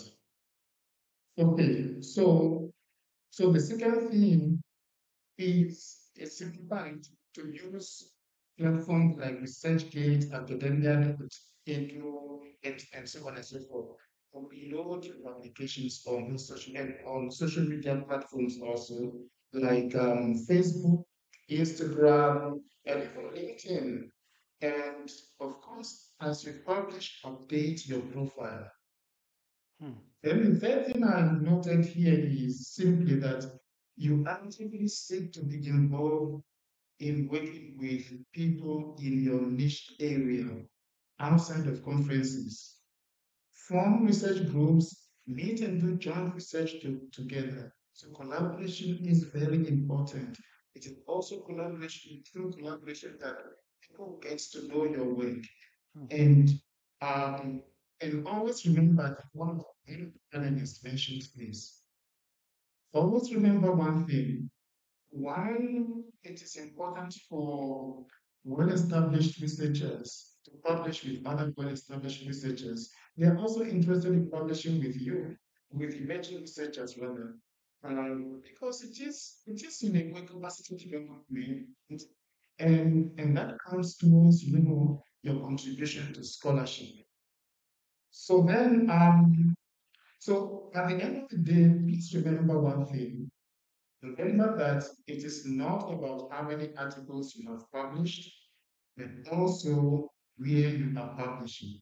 And that is why for me, I, I, I thought you were going to ask me, Wiseman, and uh, what was what came into my mind first when I thought about the topic. Yeah, what came into my mind was simple. Now we are talking because in a in a in a situation where people are all about subsidies, subsidies, subsidies, and where people go for the cheapest job possible to publish their work. Here we are talking about high quality journals, we're talking about impact. So that made me so happy that we are having these discussions because more than not, a lot of journalists, especially in emerging ones, do not understand the importance of publishing in high quality journals. Saying that all journals we publish must be high impact journals. The feedback is not coming from me because I've turned off my okay. So it is also not about how many citations you've got or you are getting, but also who is citing you and the impact your work is making. And more often than not, your impact, the impact of your work is gauged in terms of the contribution to scholarship that your work has made or is making. And this is usually your times gauged through the lens of is citing you as opposed to having anything and citing your work. Okay, so finally, and that's my last point, do not sit on your laurels even after publishing in all these high impact journals. Go out there, get seen, make yourself seen. When you are called upon to review papers in good journal in journals, of course, I'm not referring to predatory ones. Mm-hmm. Don't turn it down so easily. It's an extra sacrifice, I know, but please don't turn it down. And especially if you are called upon to be associate editor or editor of a journal or to be part of an editorial board of a journal. Again, remember, I'm not referring to predatory journals. Don't turn it down. In that way, you keep growing your career. Thank you very much. Sure, such an is insightful um, feedback uh, or response, uh, Tony. And for me, what's standing out really is the need for us to be visible and ensuring that um, we publish in those high impact journals, but also put ourselves out there, go and network in conferences, and ensure that we build a name for ourselves. Look, today you are here, you are our guest. It's because we see you as impactful in your community of practice. Thank you so much for that particular uh, response. Uh, let's uh, now um, go over to uh, Prof. Luneta. Prof, you know, traditional, when we speak about uh, the assessment of research impact, um, traditionally they've actually focused too much on academic impact, whereas in reality, really, impact is measured by the quality of research that you put out there, um, the indicators of change, uh, you know, outside the universities and also the research institutions, which is the real world, you know. I want us to delve into that particular conversation, linking it with a Prof. Essien's need to go out there, be impactful, and publish in high quality uh, journals. Uh, please take us through uh, your reflection on uh, this particular aspect of what really impact means in this particular regard. Sure. I I had two slides that I thought I would share. Yes, like I'm not allowed to share. So in that case, then I will give them to myself and uh, read them from here. Um, the first part that I looked at is uh, who does one increase impact and identify other than through publications? In other words, how does one increase one's impact other than through publications? I've looked at it from two uh, uh, from two angles. By basically looking at what we mean by academic, first of all, academic achievements, which is measured through academic outputs such as passing examinations, dissertations, theses, and publications of academic articles. This is basically regarded as academic achievements. Then also look at what we regard as academic success. So academic success therefore is achieved through self-discipline, hard work, and staying ahead of one's course and quitting. So these are areas that still push towards academic impact. Then uh, academic impact, of course, has is embodied within uh, research impact, which is in actual fact a product of academic impact. This is measured again through qualitative and quantitative methods such as citation counts, the H index, which by the way is the most popular. The, the H index is regarded as the most popular. And all aware, H index is, for instance, if you have five um, index of five, that means that you have five papers that are cited at least five times. An index of eight, you have five, you have eight papers that are cited at least more than eight. Is then also the G index, the IT index, and of course the Google Scholar and the Scopus and Uh, Web of uh, Sciences. So these push towards what one's is, towards one's academic impact. However, how then do we think about the influence one's academic impact to the normal scholarship? Why how do we regard one to be influential in the academia? And at a certain level of one's academic influence publishing in high impact journal is not still good enough because that to me is not really impactful.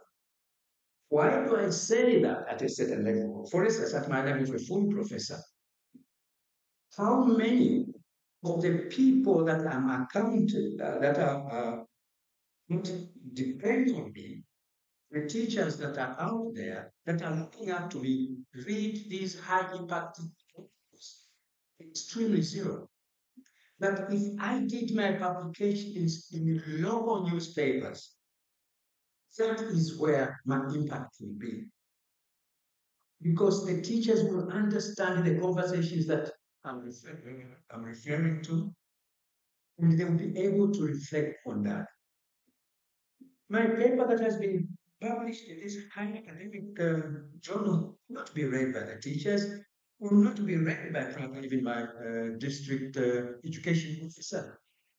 But my conversation on a local television, on mathematics teaching and learning, my conversation on a, on a local community radio, on a base to teach of a straight line, will be understood by those teachers out there. And that is what I regard as academic uh, impact.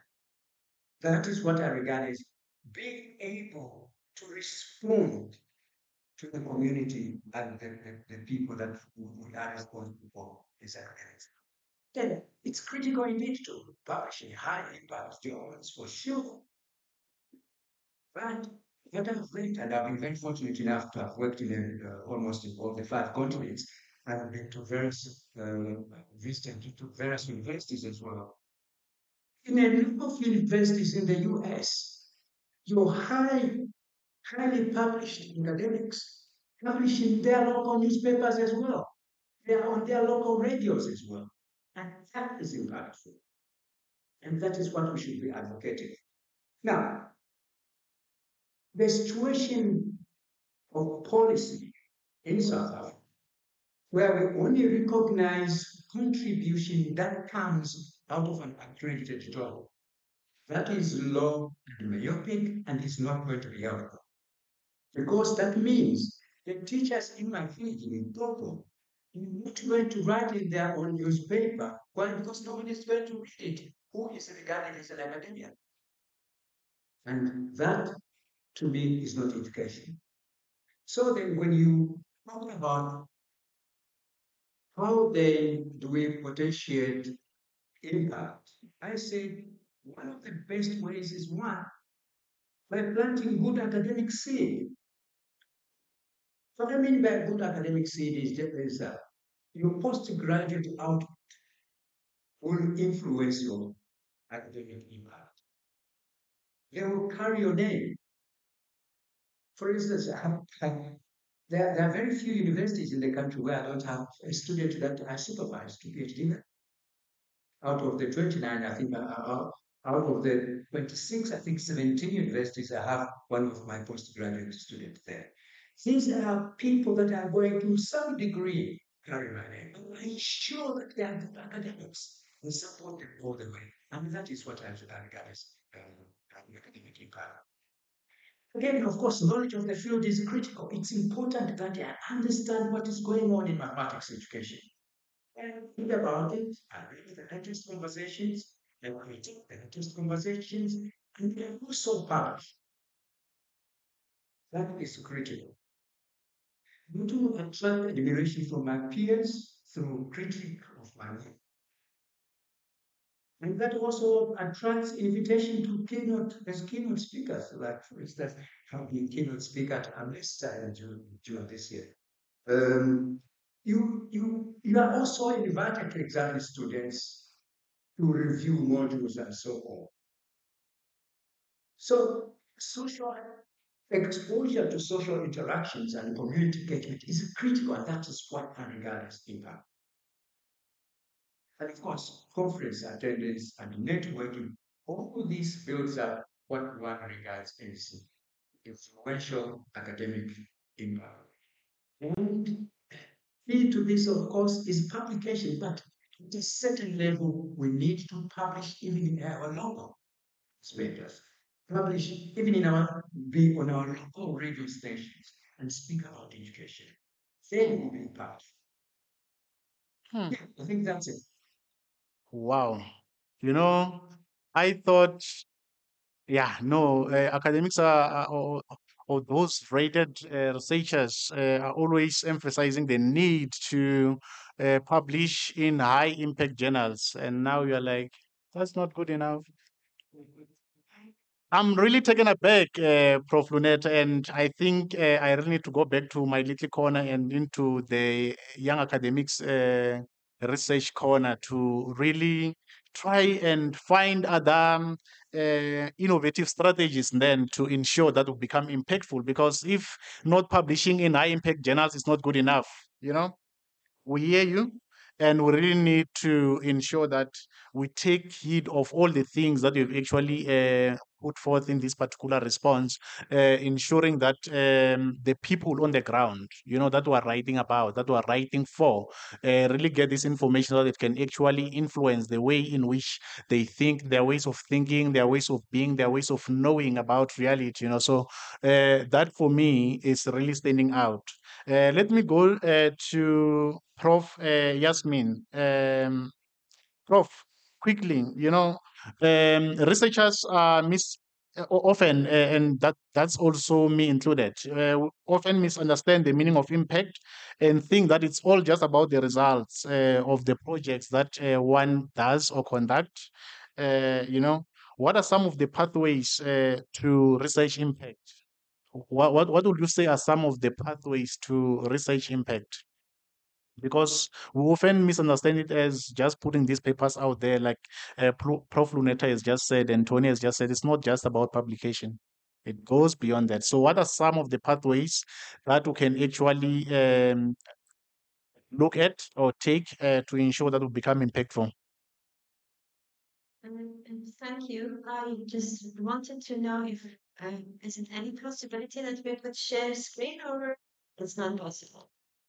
Um, I'm struggling to uh, come and enable it from my side, um, but you can continue, and I'll let you know once I'm able to do so. Okay. Okay. Well, thank you very much. I, started at the beginning by saying dividing the impact into academic impact and the potential for social impact. We break it down to so I we break it down into um, and it's more, I think following what um the other like underlying and I think I can do other ones as well. Yes, um, Well, can I just address the program director? It's because one of the panelists has the microphone on and when request and the name is Amy Or something like that. Sorry, I couldn't pronounce it correctly. Just turn off the microphone. One of the panelists. Thank you so much. Thank you. Um, so for the potential to academic impact, um, as, as other colleagues have mentioned, I, I also have um, the uh, contribution to uh, scientific advancement. That is a part of it. That includes the scientific advancement, also includes advancement in understanding of methods, of theories, the application of the research that you're working on. So sometimes when we publish in um, highly uh, structured journals, there are part of findings that are more important than others. But impact also comes from thinking about the theory you're using, the applications of the study you're having, the method, highlighting different part of your study in different uh, publications you're writing. Then um, also um, then also talking about the tech the techniques that that you're using. Uh, more than that, then we get to training skills researchers, as also was mentioned. It's part of part of the impact you're having is uh, training skilled researchers. It's just what you're doing now. It's it and it's it will eventually have an impact when you're a group of young researchers working together, putting in these kind of conferences and seminars. It is um, you're training skilled researchers and you're also building capacity. Um, other than national collaboration, uh, national and international uh, collaboration within the field, one way to increase the impact is to uh, interdisciplinary collaboration. For example, I work for with uh, mathematics and social justice. I could I could collaborate with colleagues in human rights education because they know much more than me about human rights. I probably know more than them about mathematics education, and that would be another kind of impact when we make our field more interdisciplinary. And the other pathway, the other kind of impact, and I'm still within academia, is to try to open and to publish open access. I know it, it is expensive, but sometimes libraries would have resources for that, or um, small fund could become available. Sometimes journals themselves have some fund available for open access, and that is another way to uh, uh, impact. Then um, the other thing that I wanted to talk uh, is um, potential for social impact.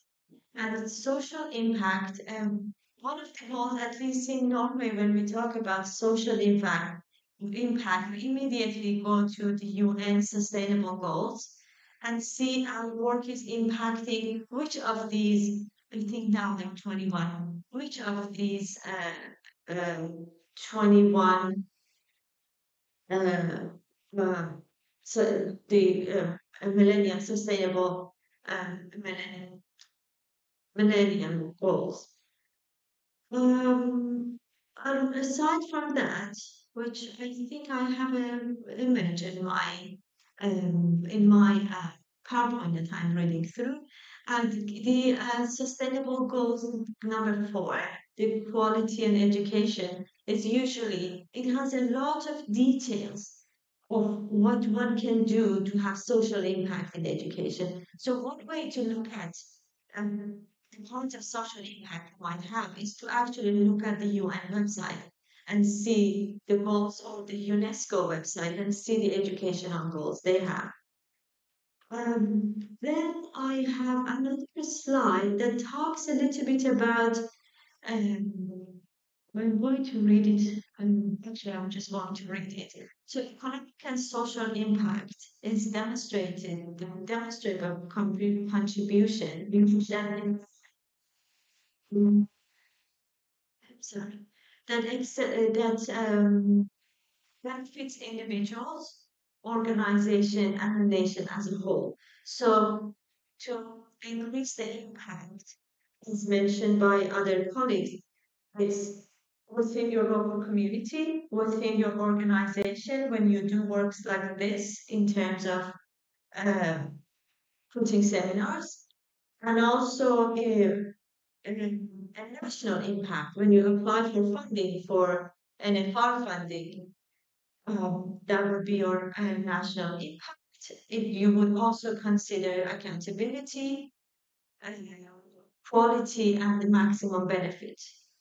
And accountability is when you're conscious about the public money that you're getting and the kind of impact you're having on the society.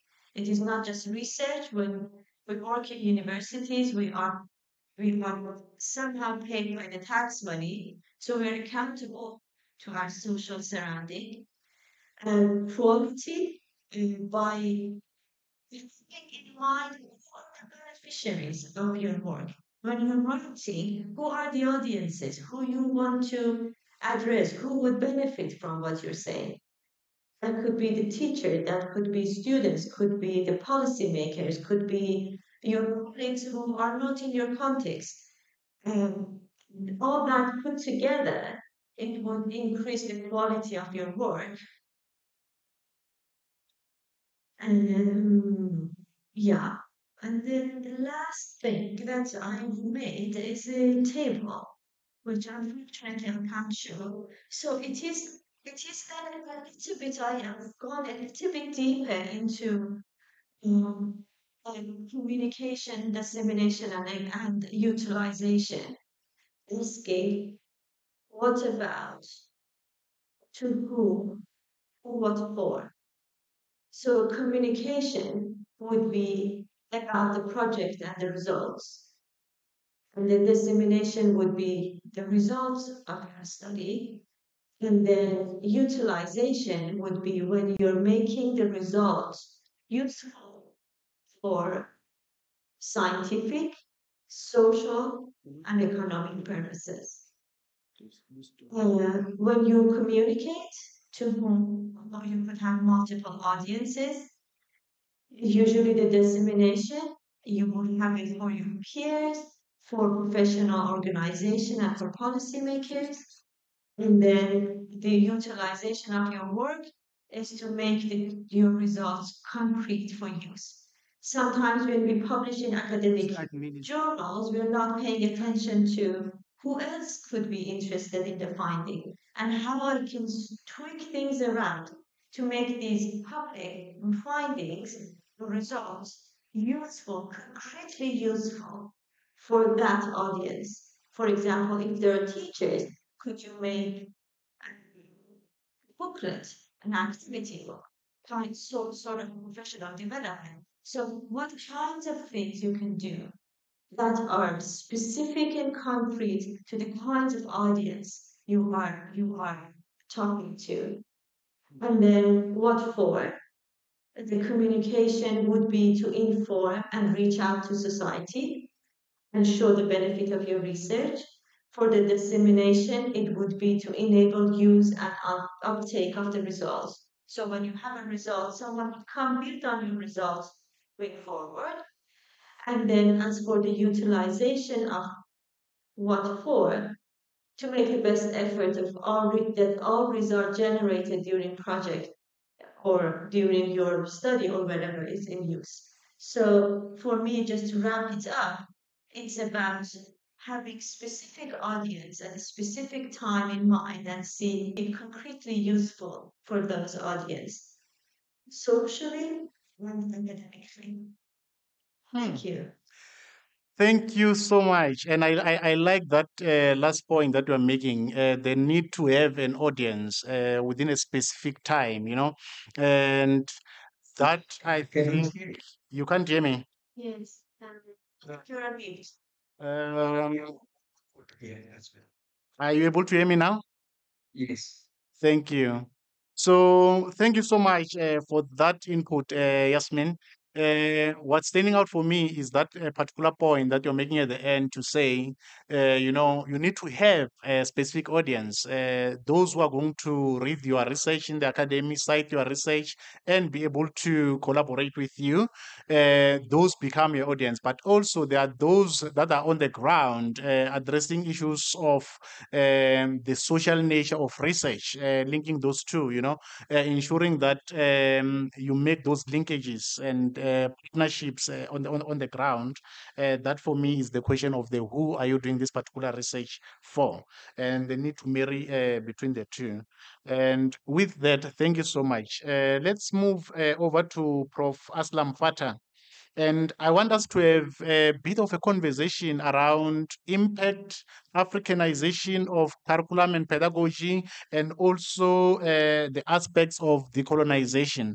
Uh, because I'm hearing Yasmin uh, speaking about the issues of context, the social context, you know. So let's delve a bit into the Africanization of the curriculum and pedagogy, as well as the decolonization of the two uh, in terms of research impact. What does it mean uh, within this particular context then?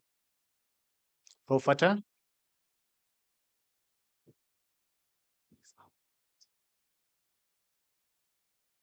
Is Prof. Fataar still with us? Okay, I think uh, Prof. Fataar uh, has left uh, the meeting because of an engagement.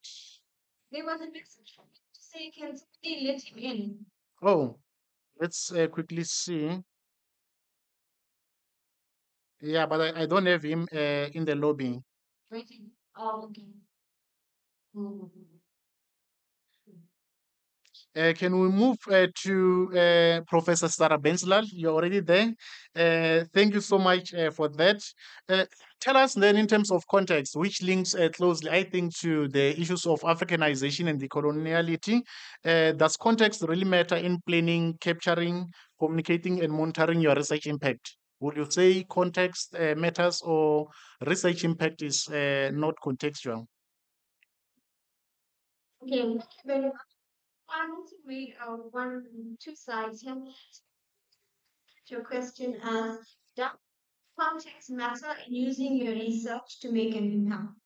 And to say yes. Answer to that is important. When, when you send in, uh, when you do research and you write it up, you, you sometimes focus on the small picture. You very difficult to look at the bigger picture. I think what other people have spoken about. That it's very um, important for you to to look back, back, and see where is that little research in the bigger picture, and what are you you possibly be saying? Because you must be clear. You must think about what is the significance of the stuff. What is the contribution of the stuff? Because often when we find um, articles sent to us, it's focusing on that micro without actually moving into a bigger picture and trying to locate where is your study contributing, completely possibly saying to the bigger pictures. So I just wanted to give an example of um, a study that we did in Renetta's um, two years ago about how it was just small study about the perceptions of teachers about this program that they have been enrolled in.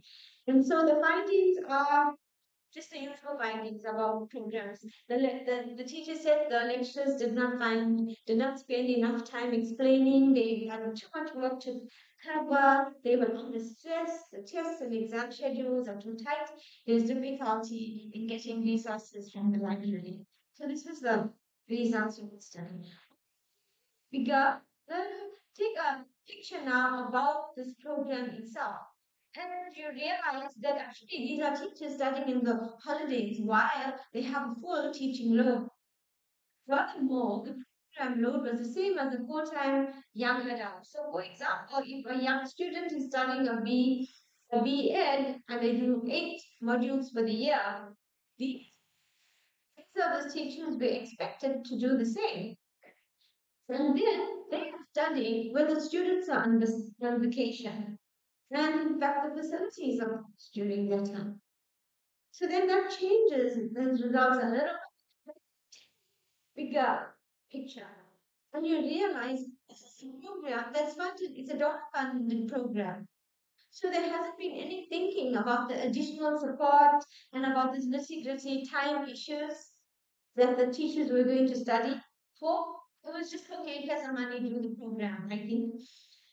And if you go there, it's a realistically impossible task. We calculate that. You need more than 85 hours a week. Can do that, except the the solid waste workers in eThekwini, the they can work 85 hours or 90 hours and pay overtime. It's 85 hours a week. But that this what was expecting or from an ordinary teacher. I think bigger picture. Well, decisions about how donor funding is used for the purposes it was meant for. Actually, donor people who plan programs get to plan it, how to decide how to allocate these resources and how to these recipients, these support teachers in following all these programs. So you take small study, in a bigger focus, wider, and then you, you can actually contribute an understanding to a bigger picture. So Whereas just saying, okay, these are the perceptions of the teachers. And so I find that it's important for us, and I think Many people have mentioned very nicely, it's important to see where your research fits in and what you're going to say. So that's my point. But I want to say one other point. Okay. So I think um, um, Tony mentioned it briefly about when you're building up your impact, it's very important to review for journals. When journals ask you to be a reviewer, please pick up on it the same way that you want people to read your research, it's important for you to contribute to that academic part. And also is a little bit selfish as you review. You can see in the article, you can actually see where your paper is in. That's one. thing is when you review for an article, they have your details. And then sometimes if you give them permission, it goes into a database. Journals pick it up. When you submit to other journals, they have this record. When you're about if you submitted an article, uh, the reviewing the details, we pick up your profile about as a reviewer. And kind of uh, improves your profile or it expands your profile on the top. So please, when you get that next invitation from a JAMSTER to review an article, please don't forget about it. Just want to meet. Thank you. So much for that. And colleagues, uh, there is a call for uh, reviewers at Ajamste.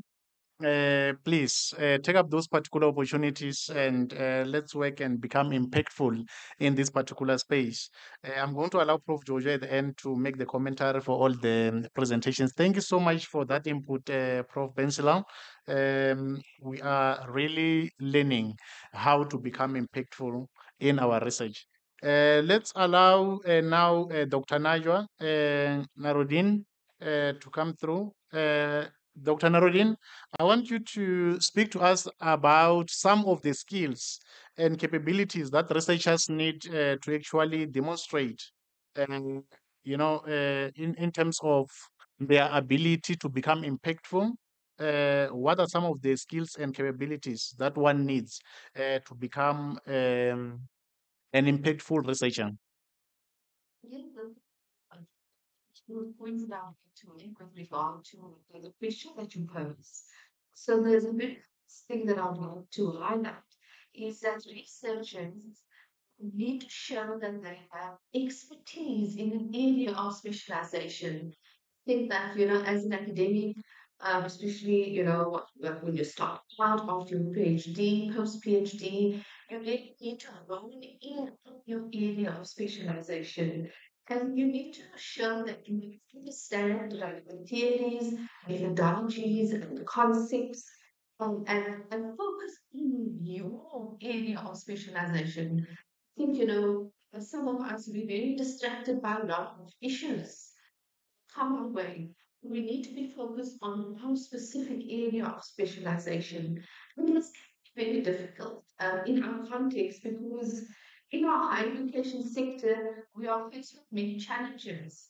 um, such as lots of lockdown, COVID-19 was um, impacted the COVID-19, um, it impacted our research focus uh, and our research questions. Um, also student protests as well.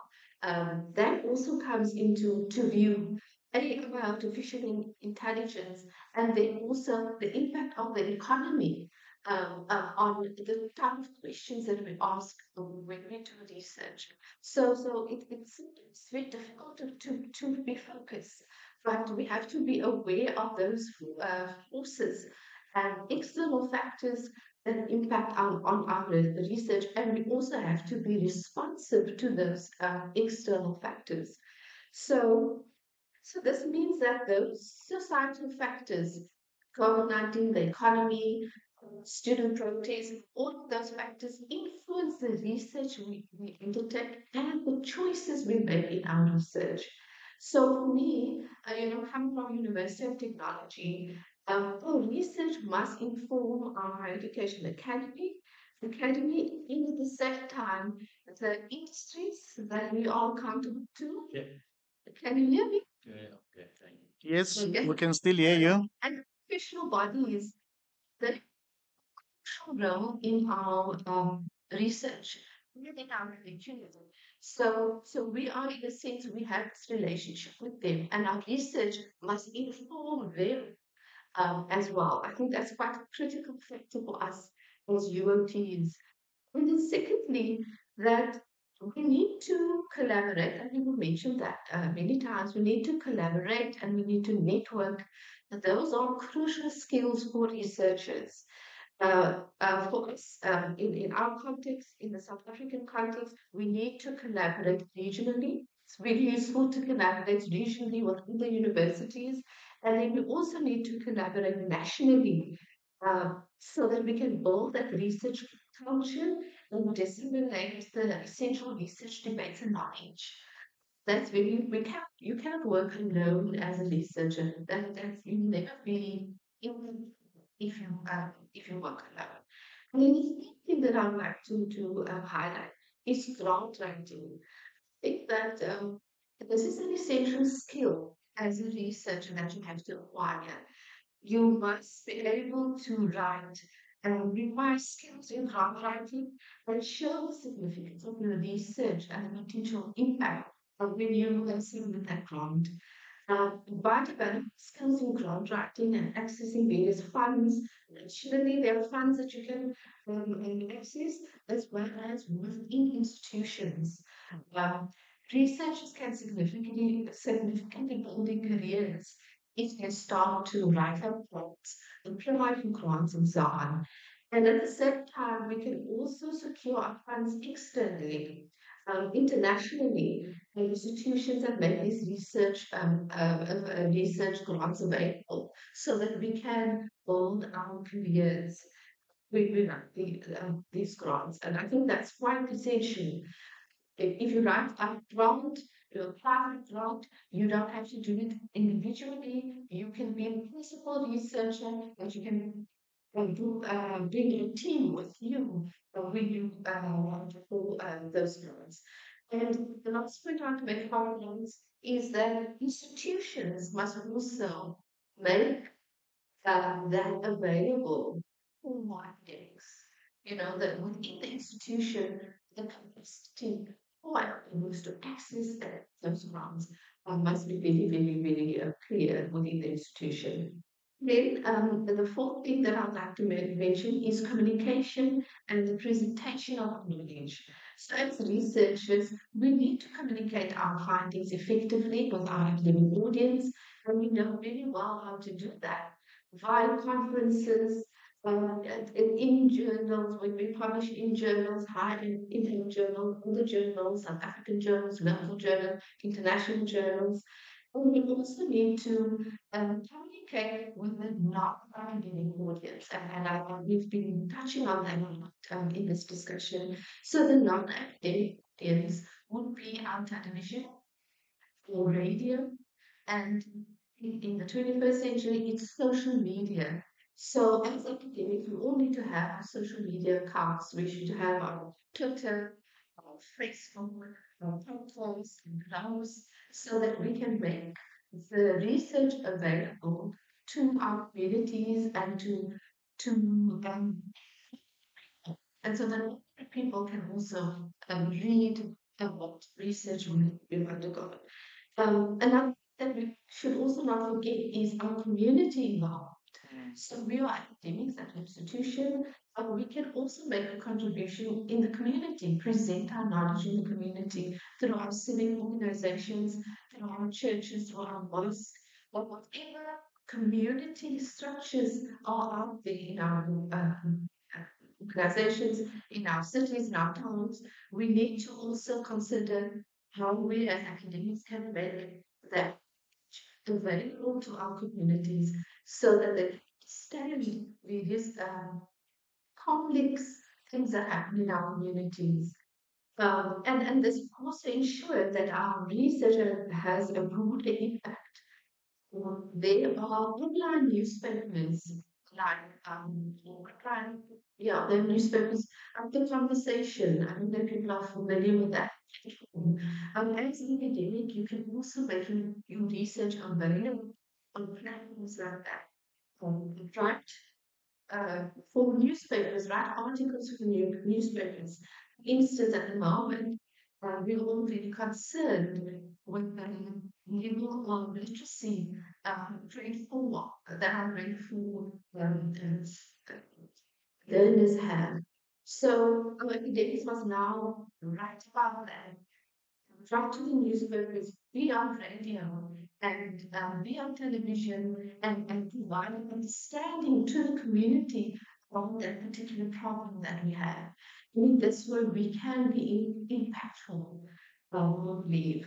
So, in conclusion, the research should aim to address pressing social, um, societal challenges by contributing to policy discussions, contributing to topical events, and also working on practical applications for the research audience. I think that's also one of those we can always um, remain in the theoretical um, domain with our research. Research research also has to have a practical application. Hmm. Uh, thank you very much. Wow, thank you so much for that, uh, Dr. Uh, Fata. And you know, it, just took me back to Prof. Luneta's point that uh, just publishing in high impact journals is not good enough. I, I, and I'm hearing it coming uh, from what you are saying, you know, uh, because we often focus on just uh, research publication in these high impact journals and forget about uh, pertinent things such as publishing in newspapers, uh, the media presence, social media presence. You know, these are some of the skills that for me are standing out and uh, they apply whether you are young or old. In the 21st century, we all need to have that social media presence and disseminate our research accordingly. Thank you so much for that particular input. Uh, I'm going to go over to Professor Aslam Fataar. Uh, thank you so much for coming back, my good sir.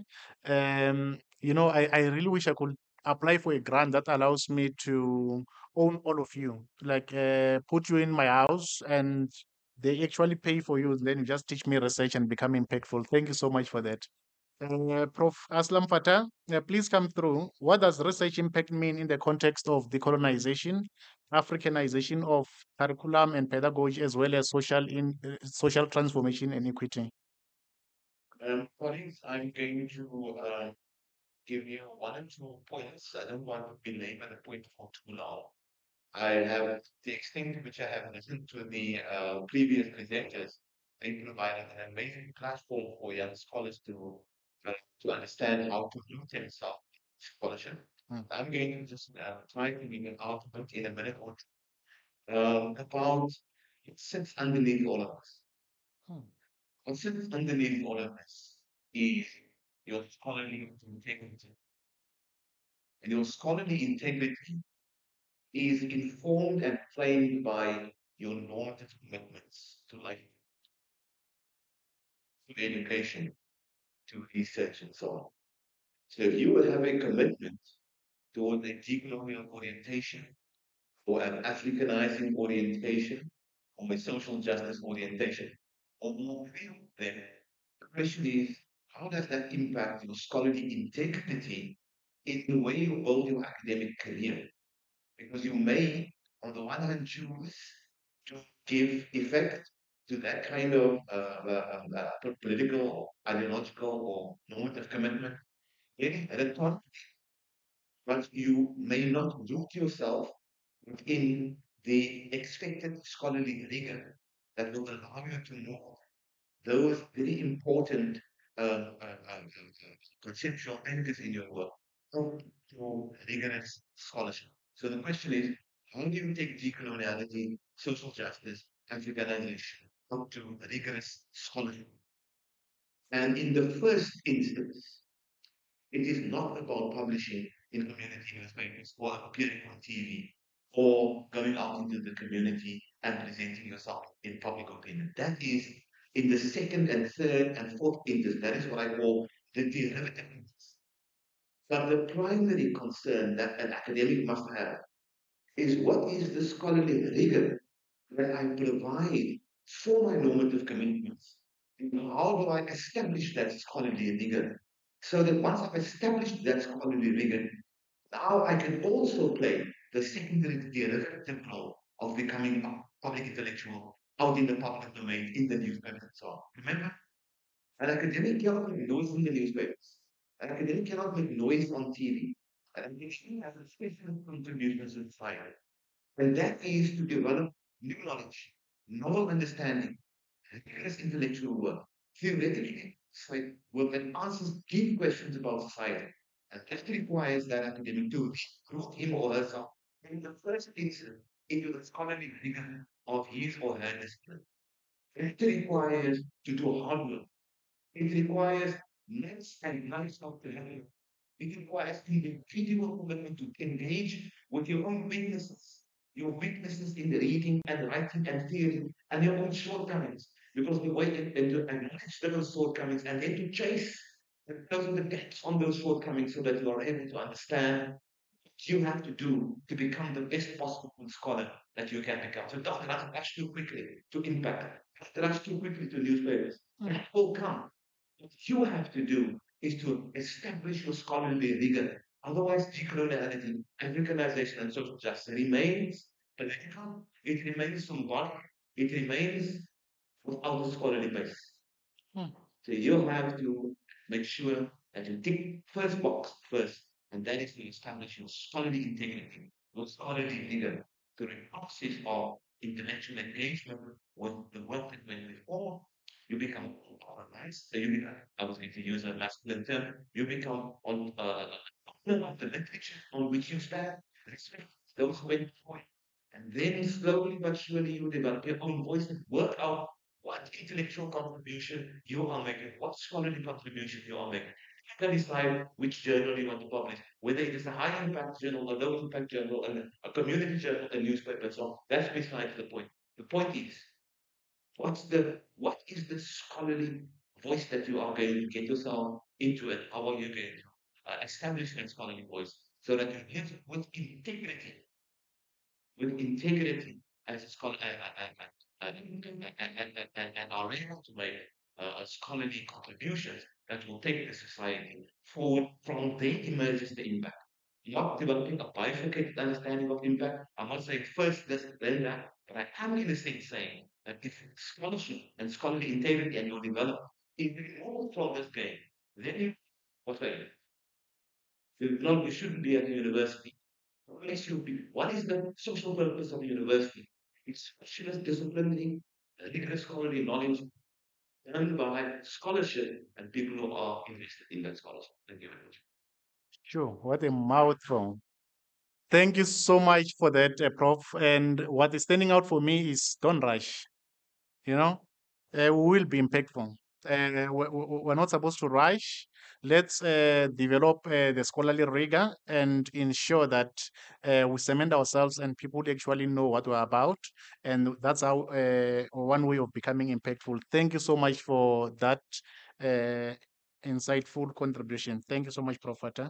And now, colleagues, I'm going to allow you in a minute or so um, to just uh, give us your key takeaways uh, from anyone, you can pick at any point that you want to elaborate on. And briefly, uh, we can go to any one of you who want to share any point, any key takeaway that you may have from this particular discussion. Because for me, uh, i- it's a lot. It's it's more about ensuring that I take a step back and ensure that I develop that scholarly rigor that uh, Prof. Fataar is talking about. And ensuring that I don't only uh, publish in those high impact journals, but I am visible. Any key takeaway from anyone?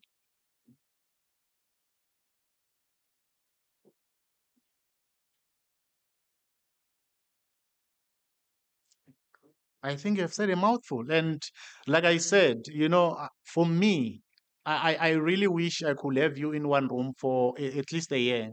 I wish there was that funding, uh, Prof. Gasa, where you can actually apply to have people housed uh, in your own uh, house, and you can just go to room number one to just consult about uh, how do I ensure that I develop a scholarly rigor from Prof. Fataar, you know, and ensure that I understand the discourses of uh, not only publishing in high impact journals, but I I become visible. Then I will go to uh, door number two, which is uh, Prof. Essien, you know. So I think we need to relook also uh, issues of funding, uh. Gas, in terms of how do we ensure that we actually house uh, all these professors in one room and they don't just uh, work in those institutions that they are housed in and they are available for one individual for a year and we see the impact that comes thereof. Thank you so much. Thank you so much, colleagues, uh, for this uh, lovely and insightful session. Uh, for me, I'm really rejuvenated and motivated to work even harder to become an impactful researcher. Thank you so much uh, to all our panelists. Uh, we don't take it for granted that uh, you're all joining us from different parts of the world. Uh, both in South Africa and international, we really uh, thank you for um, your availability uh, for this session. And we don't take for granted those contributions. They are recorded and we're going to make them available to those who may want to actually engage with the content. Uh, thank you so much. Uh, now I'm going to allow Prof. Uh, Zingiswa Jojo uh, to give a commentary on the presentations, all the presentations. Um, this is the impactful corner. So Prof. Jojo is going to show us how at UNISA in terms of responding to all these panelists' uh, discussion. Thank you. Prof, over to you.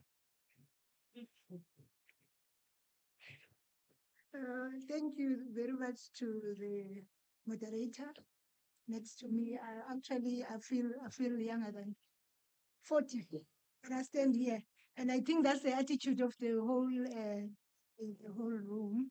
Um, and uh, in responding to the focused discussion question posed on the topic, jungling between academic and real world impact, the panelists responded from different angles, as we can all attest.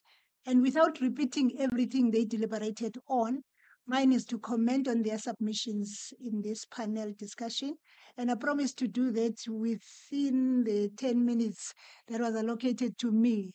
And given the fact that there were seven people, so it means for each person, I can only talk for one and a half uh, minutes in trying to comment and summarize what the people were saying and what I took from that.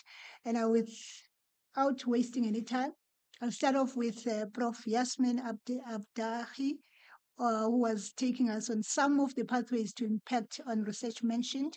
And uh, he spoke about the fact that impact is more than academic impact, and it's uh, it also takes into consideration capacity building, social impact, policy formation, and it should inform practice.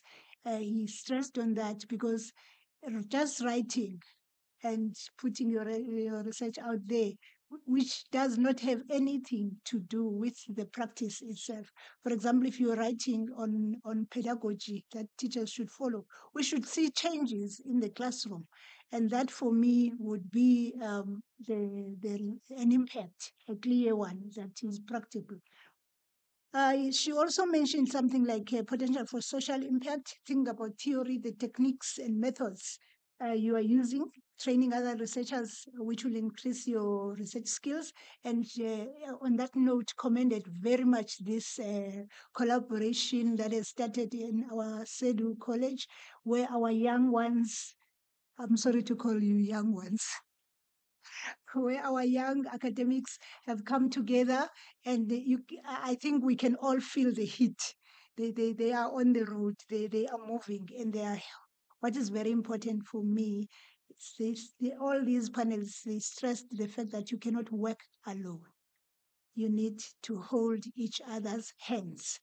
And, and, uh, and uh, I'm- very delightful also that the young academics are also including those people that are working towards P- their PhD, because there are various ins instances where you just, uh, you know, the comments that you get from your supervisor, they nauseate you, you take that thing and you throw it away, and you're like, why am I frustrating myself this much?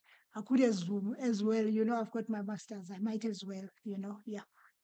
But uh, just to summarize what she said, she she said it's very important to disseminate your research through community that you're talking to. Have a specific audience and a specific time, and what those people can do with that kind, those kinds of results that you had from your from your research.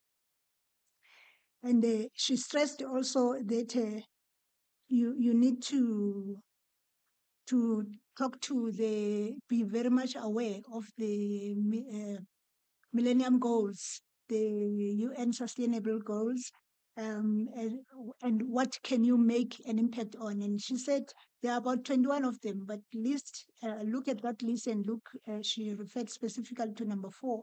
But i think you can look at many of the others like if you if most of the time when you are reading uh, articles and you are listening to things, then the justice uh, that affects uh, the way in which teaching is done or, or whatever, you, you know your instincts, then I think you can dwell much on that side. Moving on to Prof. Bansilal, who agreed that uh, the context matters in planning, capturing, communicating, and monitoring uh, one's research. She, she said, do not focus on small, picture, on small pictures where this is uh, as little research. Uh, look at a bigger space, a bigger picture. This small research that you're doing, where does it contribute? What is the significance of your study? What is the new knowledge that you want to bring about? What is this catching thing that will make uh, impact or people or change the way people think about how they do research? um, allow yourself to contribute to academic space by doing uh, reviewing. She stressed on that. So colleagues, don't forget to accept reviews. That is actually where you learn from. You learn from how other people are addressing other topics and how they express themselves.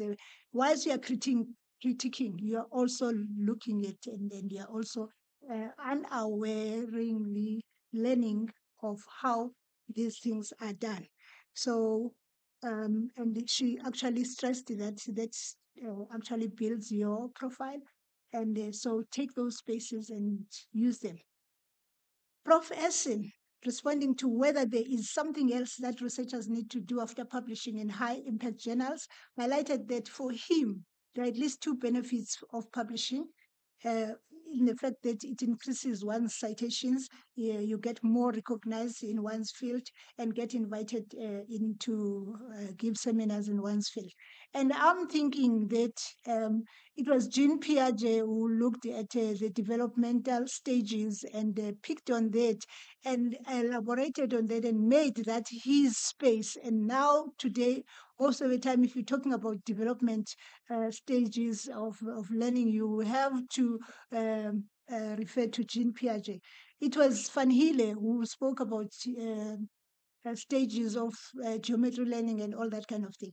And I want to think that there is uh, some spheres that we can tap into our own African theories, our Ubuntu, our own philosophies, and make them known. But then, as an academic, which is what came out very strongly, you need to be an expert focus on a particular uh, topic and that you are fond of and expand and elaborate on that, then you will have an impact. Actually, people will refer to you. They will go and read your work when they want to elaborate on that. So, uh, Prof. Essien said, uh, make yourself known and be visible in conferences by joining special interest groups and networks. Special interest groups, they come very much um, as a, what uh, uh, Lave Wenger calls communities of practice. Now, they formulated theirs internationally. We can formulate ours locally. And I think what our young uh, academics are doing here is kind of a community of practice because that they've created a space where they are now going to um, uh, learn from each other on how to approach, for example, rejection of a of a of a of a journal article. They they you know you you get sad. And the rejection is coming perhaps after three three years or so and you thought it was the best of yours. So so those are the spaces. Uh, use okay thank you. Use researchgate academia and upload your publications on social media platforms like facebook instagram and others. Twitter. So let's tweet about educational contributions that we can make.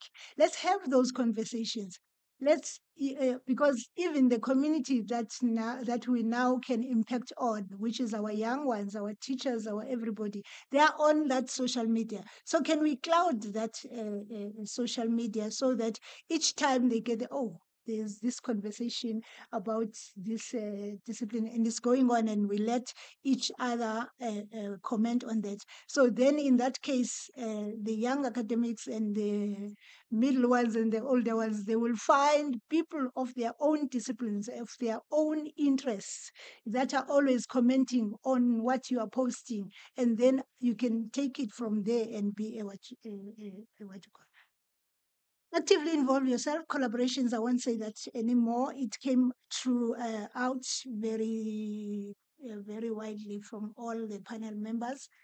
And uh, what stood out for me for from um, uh, prof Essien was him saying it's not about how many articles but what are you making what impact are you making when you publish? And this reminds me also of a visit that we had from our prominent uh, professor X. Uh, remember, I come from the maths education. We use X and Y. Professor X, he came to our department and he was trying, she was trying, she, she was trying to motivate us on how to do publications. It was very much at our earlier um, uh, spheres of uh, academia. And she said, if you publish in high impact journals, my, my, my moderator, you don't have to publish many articles. Three is enough. They will know what you're saying and they will keep uh, referring to that. And, and as such, that is how you, you get into the national and the international world. And most people will be citing you. Uh, your H index will, we, we heard about the H index, it will go up and, and so forth. So it's not about the how many citations you're having, who is citing you, as opposed to how many people are reading your work. Is anybody reading your work? Or, or, or, or get out and be part of the uh, the appropriate uh, community. I'm moving to Prof. Uh, Aslam Fataar, who was responding on what does research impact mean in the context of decolonization, Africanization, social transformation, and equity. And he he he just came in and said, "In my two minutes, I'm finishing up my uh, program director." What sits underneath all of this is one scholarly integrity in the one uh, you build your academic in the in the way in which you build your academic scholarship, and he is saying it must be a rigorous one. And you need to go and read perhaps what is scholarly rigor. How can I publish what I, what I'm doing?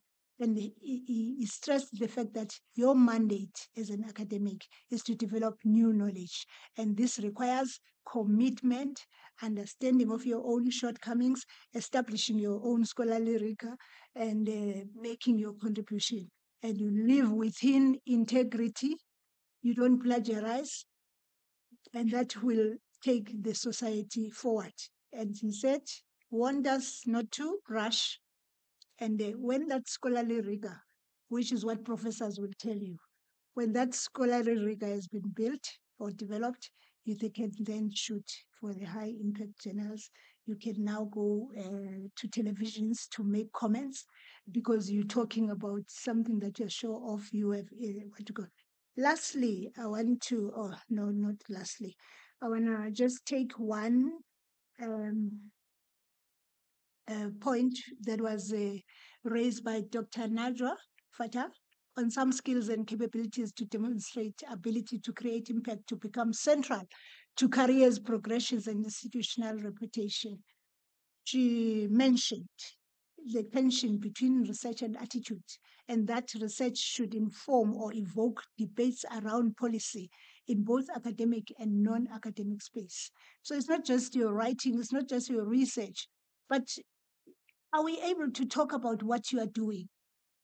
Uh, I'll, I'll make some one, one, one, what you call. Are you talking to uh, women that are underrepresented in the science and STEM and whatever, which is something that can, you know, you can debate. Of. Is, is there something that can be said, or are you looking at the failure rate that somebody has uh, has looked for, uh, looked at? Everybody's failing maths, and you are you are looking at that also, and you are you are also failing the maths yourself as you are looking at that. Um, so, but she also stressed on grant writing, on how to access the funds in your institutions nationally and internationally. And how does this uh, uh, uh, impact on your research? Getting grants, getting funding, it allows you to then be able to attend these conferences, to get into the national and international space, to share what you are thinking, and to then get into networking, collaborations, and, and many other, and actually to open your eyes very much uh, wider. Lastly, program director, I want to talk uh, to what uh, Prof. Luneta said on assessment of research impact that focuses too much on academic impact, whereas indicators of change in the real world. And he focused mainly on how research can influence their impact uh, potential beyond academia. And in so doing, he said, how does one increase uh, impact other than publishing? And, uh, and uh, he spoke to that academic uh, success is achieved through hard working. This is coming again. That hard working, remember, is coming with commitment, okay? And is actually coming from me now, sacrifice, where you leave out many of the things. You don't attend all the funerals. You can go. I'm sorry. I'm sorry to make something, okay. but but as an academic, really, you have to discern and and uh, and uh, know why you are going to that party. What is it for you in the party itself, other than the dancing? Because you can dance in your room anyway, anytime. Um, academic success is achieved through hard working, standing out in one's field. What is your H index? How are you represented on Google Scholar Scopus? Uh, you must push academic. That is how you push your academic uh, impact. But then he actually scrutinized the fact that these high impact journals, who actually reads them? Uh, as said, we are mandated to train our teachers, to empower our teachers, to to to make sure that teachers are in a space where they can change the the knowledge or, or contribute to the knowledge of our learners. So now in those high impact journals and actually in any journal, even if it's not high impact, teachers have got nothing to do with it. Then in that case, there is community engagement where you can do professional development. As a young academic, you grow in that space. You, they will tell you what they need, their needs are, and then you go into that space and you you you involve yourself there. In finishing, I wish to say perhaps if you engage and interact with audiences that uh, like policy makers, industry educators, health practitioners, economists, and everybody else.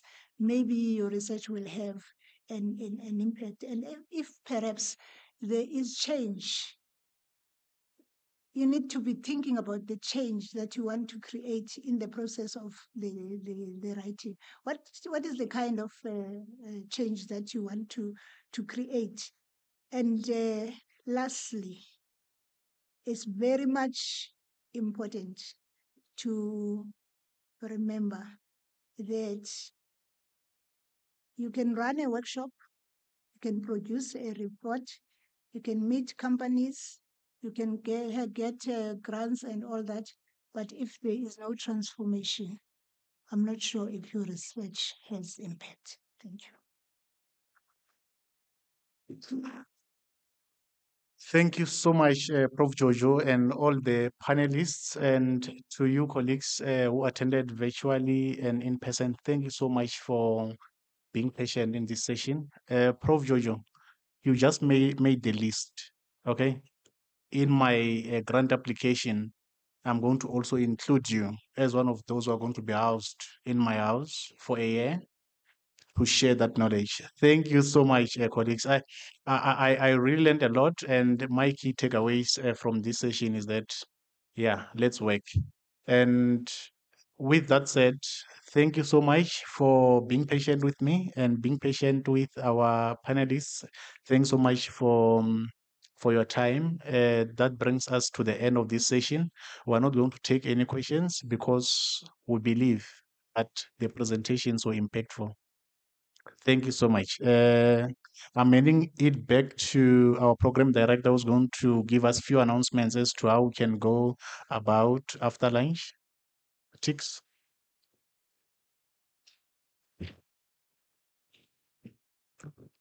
Thank you, Buddy. That was a very insightful panel discussion. Lots was said, nothing left to summarize. So we're going to move on to the next item, which should be lunch. Because we are streaming online and we are also in the building, we are not going to take up too much time as we are in person. Please, can we go to the ZK Matthews building where we'll collect our lunch? And then if we can kindly come back into this room in the Senate Hall to eat our lunch while we proceed with the second panel discussion. So we will be back here in the next 15 minutes and online as well. We'll be back in 15 minutes. So you can also have a 15 minute lunch break at home, go make a cup of coffee, grab something to eat, and then we'll be back in 15 minutes. Thank you so much. At court at five past one.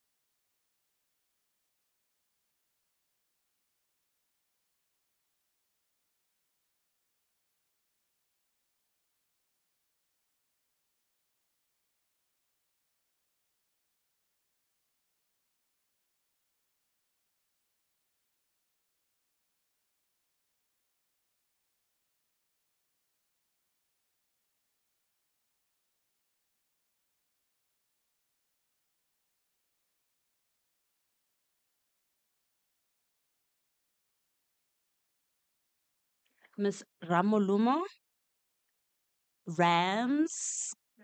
She's going to come to the stage and moderate our second panel discussion. Over to you. Can we please give her a warm round of applause?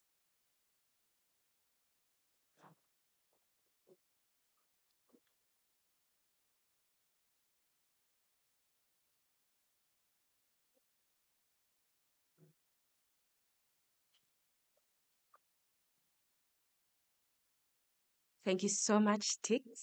Sanibonani, Sanibonani, Sanibonani. And to all the colleagues at home, uh, welcome to our second session. Um, this is our second panel discussion, and we will be talking to our young ones. So, the second discussion is based on being an emerging and developing researcher in the artificial age, in, the- in the artificial intelligence age. As uh, Dr. Tokozani has said, my name is Mulebuheng Ramulumo. And for those that are under the age of 40, you can call me Rams. And if you are above 40, I am Lebuheng Ramulumo. So I'm going to introduce our panelists, and as I call you, please come to the stage, and then you can just sit next to me. Okay, what's happening?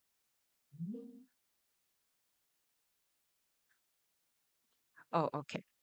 So our first panelist is Dr. Nati Songozi, mm-hmm. and he will be talking about ethical considerations in the use of artificial intelligence for research purposes. Our second panelist is Dr. Patricia Foto, and as a frequent user of artificial intelligence, she will be addressing the limitations of artificial intelligence, challenges, and opportunities. And then our last panelist is Miss Christy Kotsia. She will be addressing the strategies for upholding student honesty and integrity in the era of artificial intelligence. So, colleagues, this is how our program will run. We'll have our three panelists presenting their presentations, and then we'll have a moderated discussion. Then we'll open the floor for question and answer. And then at the end, we have Dr. Mazibe to do the commentary. Are we ready? Okay. Before we start, just to ease the nerves, I'm just going to ask that you answer this from your chairs. Can we get mics, please, for them?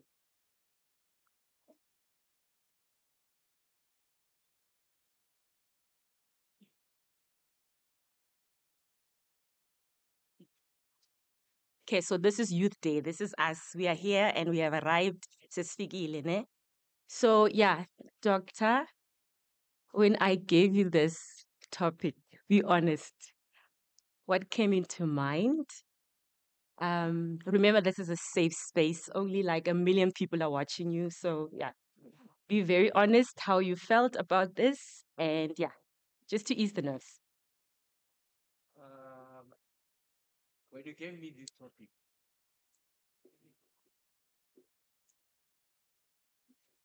Can you hear me? Yes.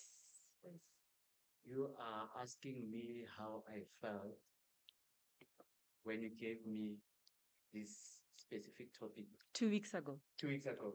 Was it two weeks ago? Oh, okay. No, it's fine. Well, yeah, it was a bit challenging, but I said, you know what? Let me go and tell them how I feel about this artificial intelligence. And I think you'll get answers when I do my presentation. Thank you. Thank you. Dr. Foto, the same question. Thank you, Chair. I think with me, I was very surprised because I was like, I'm a life science teacher. Why am I talking about AI?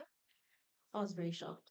But I was like, since I'm always on social media, maybe I should have a discussion today. So you will hear what we'll talk about.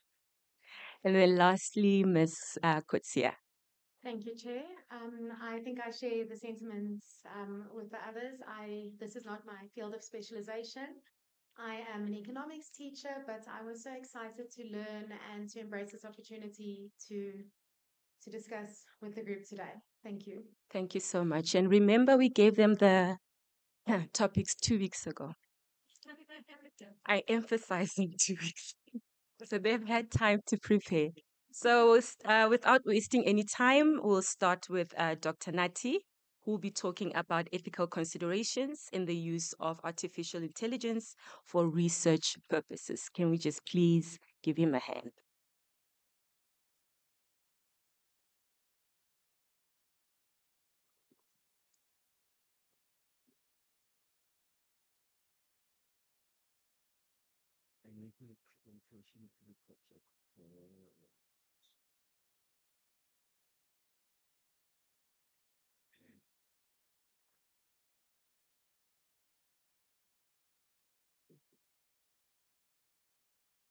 Please excuse me, I'm still trying to project. Yeah.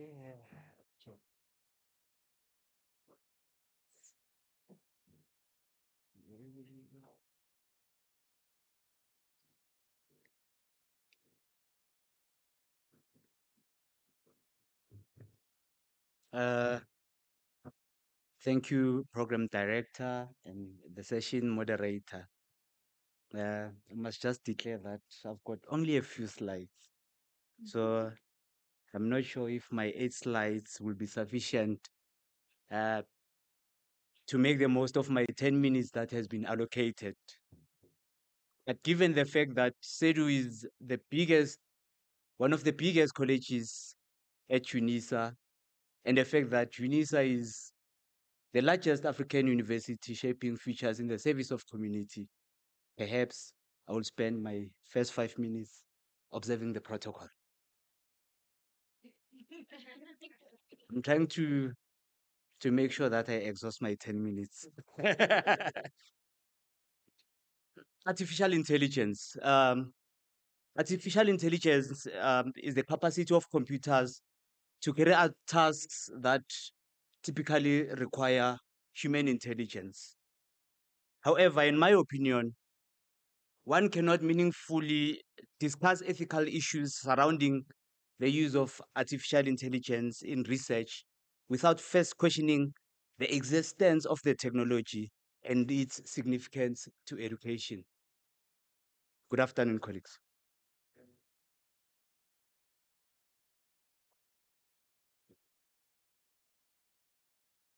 Now, I believe for the purpose of tackling this particular topic, it is important to first understand artificial intelligence or the era of artificial intelligence in conjunction with other imperatives.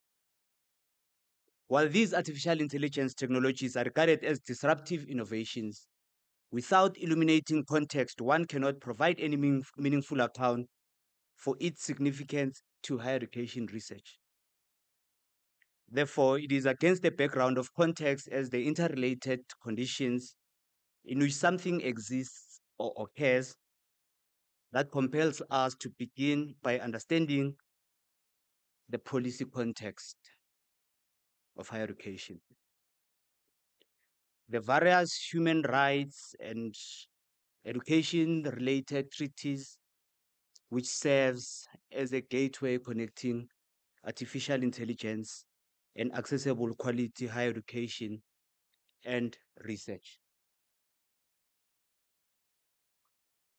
Uh, These global imperatives are domesticated through various South African higher education policies and legislations to transform the sector, reduce inequalities, and improve access to education. These include uh, the Constitution, which, in terms of the Bill of Rights, reaffirms everyone's right to quality education, which the state, through appropriate methods, should make progressively available. Therefore, it comes as no surprise that expanding access, improving quality, and increasing diversity feature as main objectives of the higher education policies of South Africa and the African region. In order to serve the country more broadly, these policies recognize a need for more places for people to learn, more types of courses and qualifications, more financial support for students, and better quality education, training, and upskilling. Now, having uncovered the contextual background explaining the importance of artificial intelligence on social justice and redress, what are some of its benefits to higher education researchers? The machine learning models use big data to learn and improve predictability and performance automatically through experience and data without being programmed to do so by humans. The Stats IQ, for instance, enables everyone from beginners to expert researchers to uncover meaning in data, identify trends, and produce predictive models without spending days in SPSS and Excel. And for this, you normally don't need prior training. One can also use text analysis to break these massive amounts of data into sentences, phrases, and keywords, allowing you to better understand the trends and topics present across your files. Through artificial intelligence, researchers can also rewrite papers or paraphrase paragraphs without having to engage much with the literature. So these are some of the benefits that, depending on the standards that you've set for yourselves, come with artificial intelligence.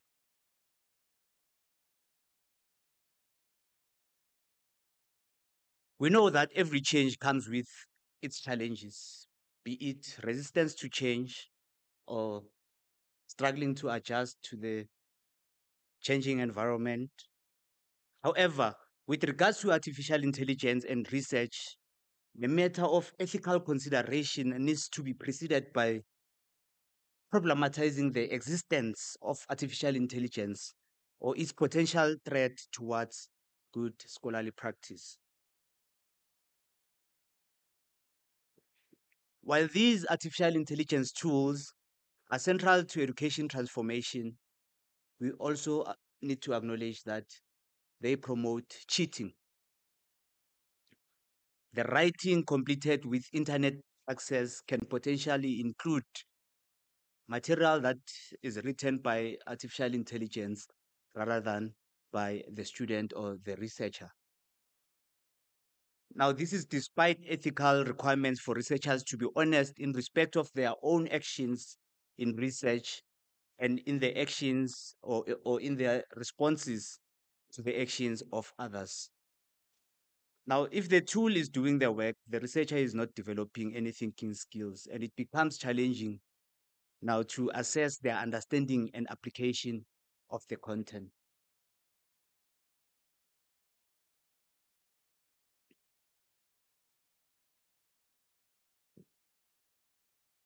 While we embrace artificial intelligence, we also need to acknowledge that to a certain extent, it promotes isolation, detachment, insensitivity, and absence of Ubuntu.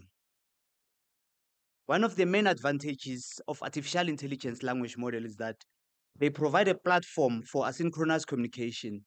Now, this feature has been found to increase engagement and collaboration, and it allows discussion of topics without having to be present at the same time.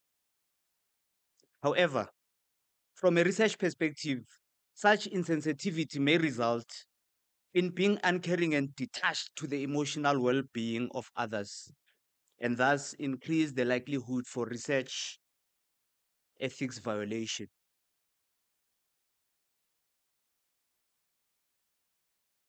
Another danger is that the dishonesty and immorality related to the use of artificial intelligence in higher education research may extend beyond masters and doctoral students to involve supervisors, colleges, and institutions of higher learning. This is set against the pressures towards universities' need to increase their research output and student throughput, which in some countries determine the government subsidy. The pressures to improve the average of full time equivalent researchers, the need for academic promotion and incentives, the need to realize the 2020 agenda of producing 100 PhDs per million by the year 2030, and the need to ensure the continuity of the next generation of scholars. So basically, no one is exonerated. We all have the potential of violating the ethical code of conduct, especially when artificial intelligence is involved. So no one is safe. Zigu loudspeaker. Zap.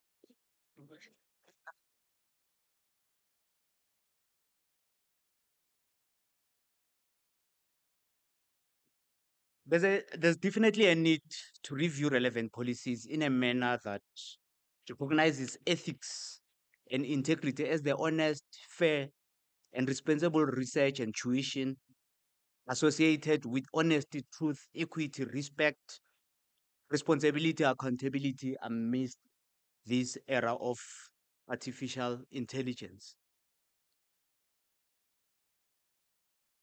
Artificial intelligence tools can be incredibly powerful, but they also have their own limitations.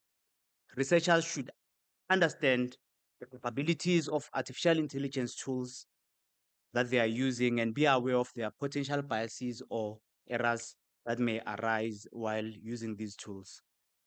They should also double check the output of artificial intelligence tools and verify their accuracy before using them in their work.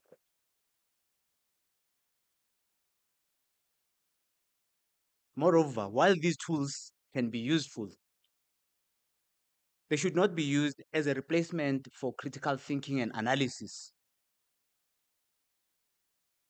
Researchers should use artificial intelligence tools as a supplement to their own research and writing rather than relying on them entirely.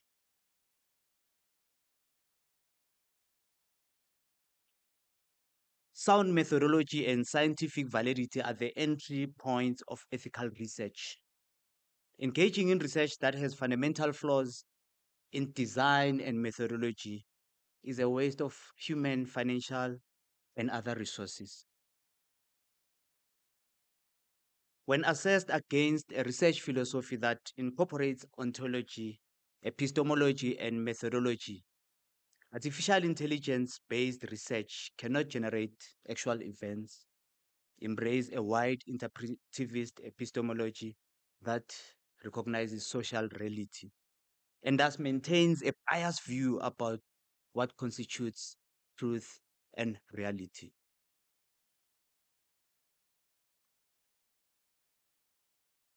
Now, in concluding and uh, taking into account the issues that we have discussed uh, earlier and the novel nature of most artificial intelligence tools, especially in the South African higher education context, more studies are needed to better understand the research ethical implications of this particular phenomenon. We also need to adopt an ecological system approach in a manner that would acknowledge the role of every party in the discourse to better understand how artificial intelligence based uh, practices or artificial intelligence research based practices affect them or can be improved. These parties may be our students, the supervisors, the institutions, the communities which are normally subjects of our research and policy make makers because at the end of the day the ecological system is a system of interrelated parts which together serve to form a whole so this is something that needs to be discussed from a macro level micro level and the meso level With that being said, Nahailal. Thank you.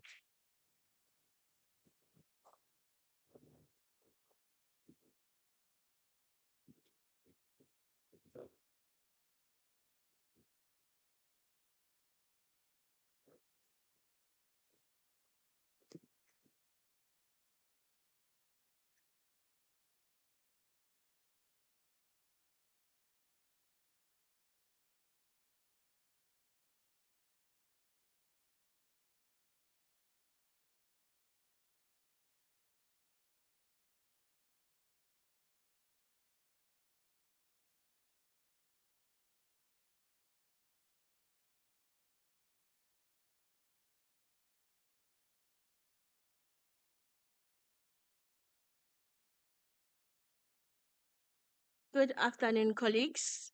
I hope you can all hear me because I'm very short, so it is what it is.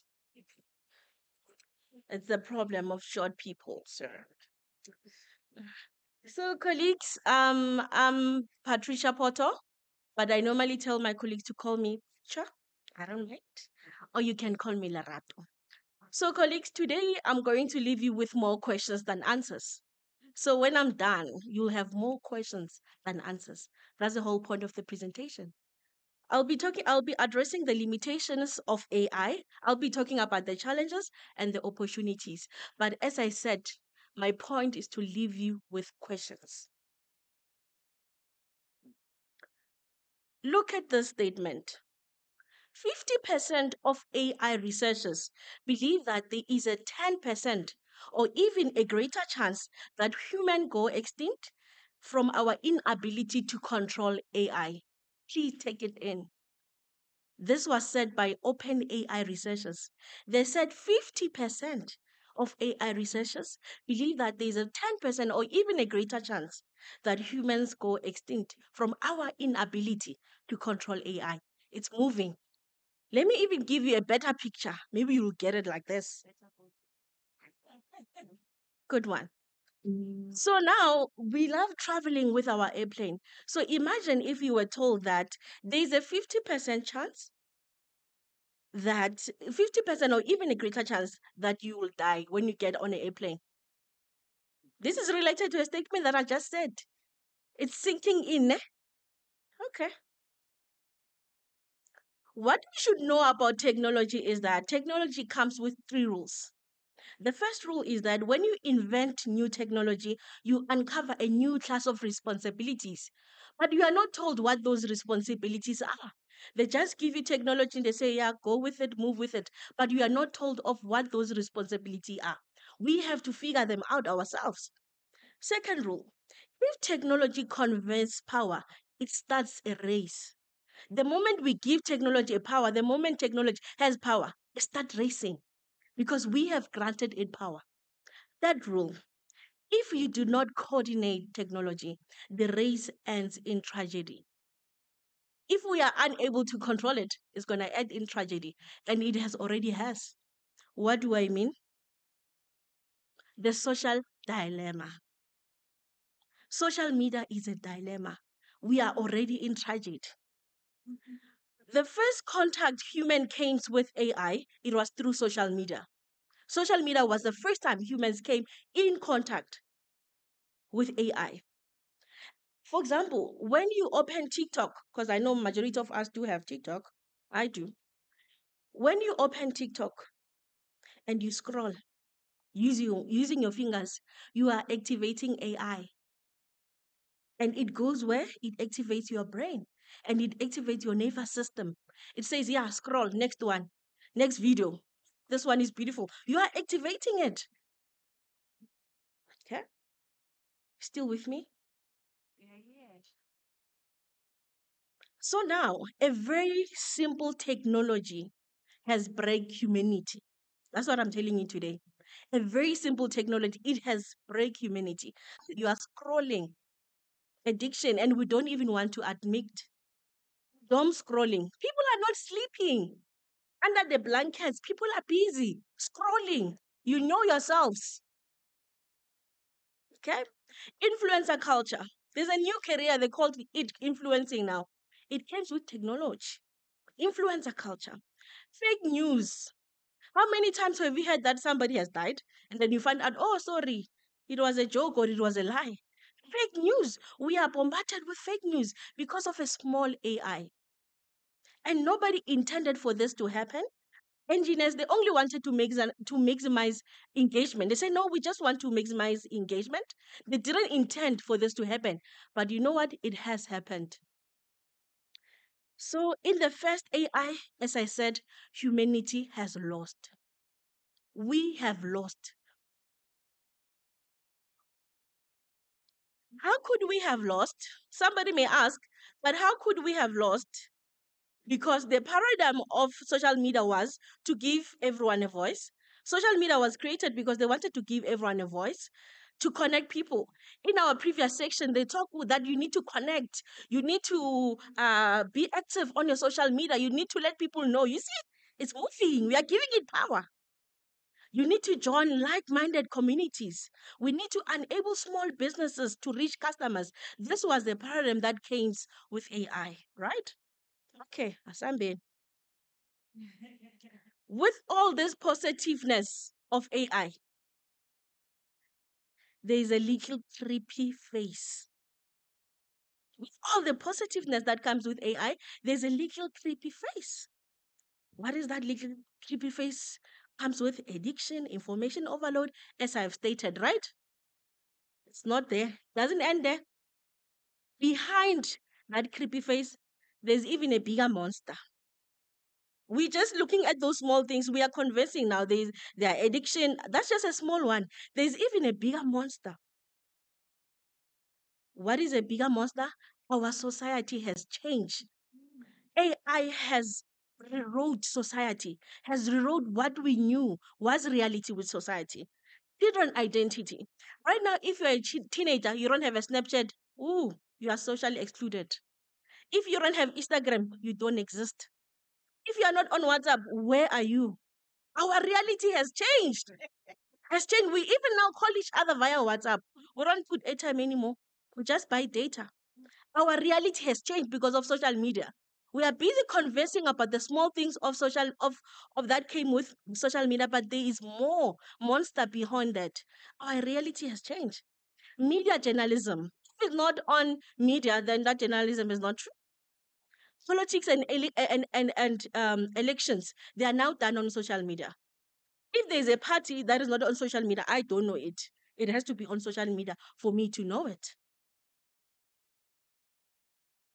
so we have lost in our first contact right now we are in the second contact the second contact where human being came with ai it is ChatGPT-3 but my question is have we solved the first dilemma of social media have we solved it?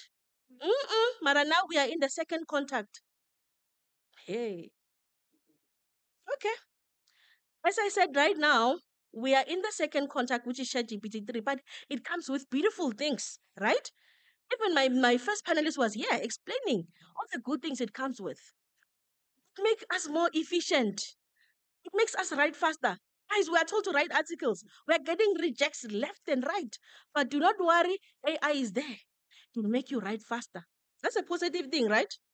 Okay. It makes us code faster. It solves the impossible scientific challenges. And it makes us a lot of money. I could sit here and tell you about all the lot of money that it, it comes with. Lalela. Behind a beautiful ChatGPT-3, there is a small monster. And the small monster is the one that we are engaging in. What is that? AI is, AI is biased. Meaning, whoever ad- updated AI, if the person was biased, it means the AI that we are using is biased. AI is taking our jobs.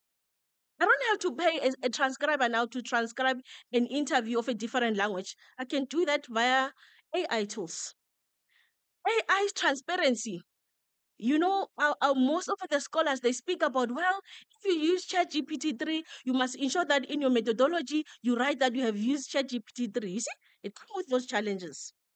Uh, AI is acting creepy. We do feel like it's acting creepy because it can do everything. But let me tell you something. We are discussing right that, right? But behind that small monster that we are busy discussing about, there is even a bigger monster bigger one. We're busy, busy discussing this small monster, but there's a bigger one. And what is that? Reality collapse. Our reality is collapsing right now.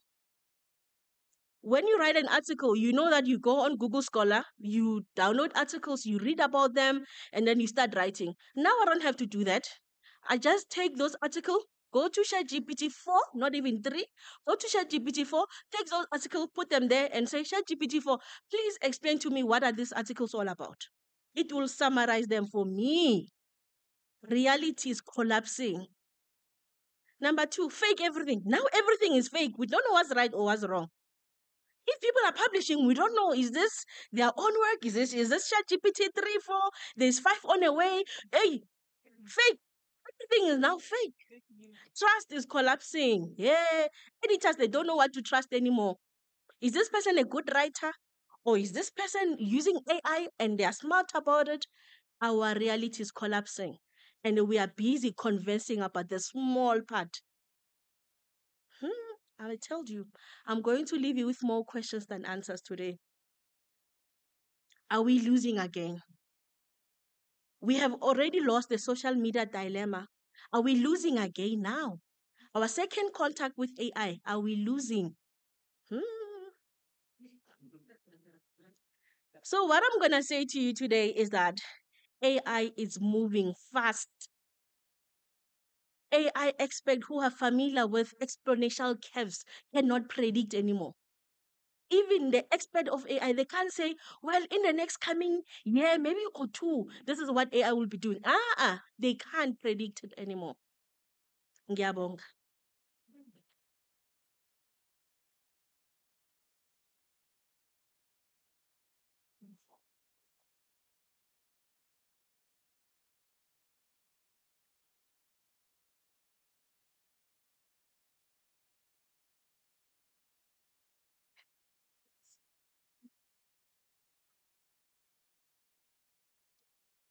No, they, they've got mine there at the back. Oh, okay. But it's not projected.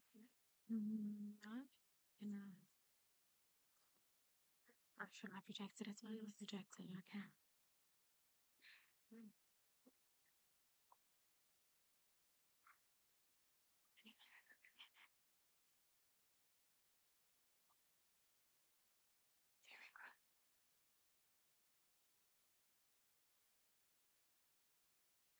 Can you project it?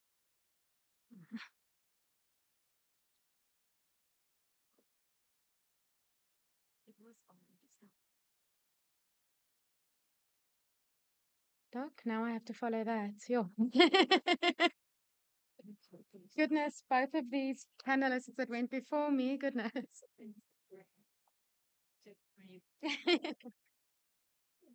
Can we, how can we into that one? Can. Because then I can show them that too.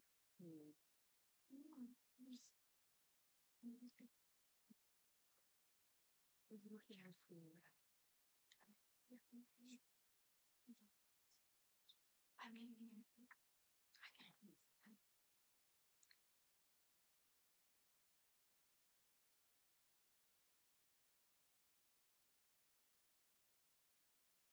That's not mine.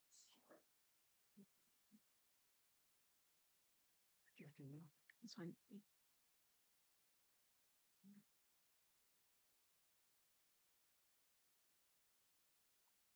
There we go.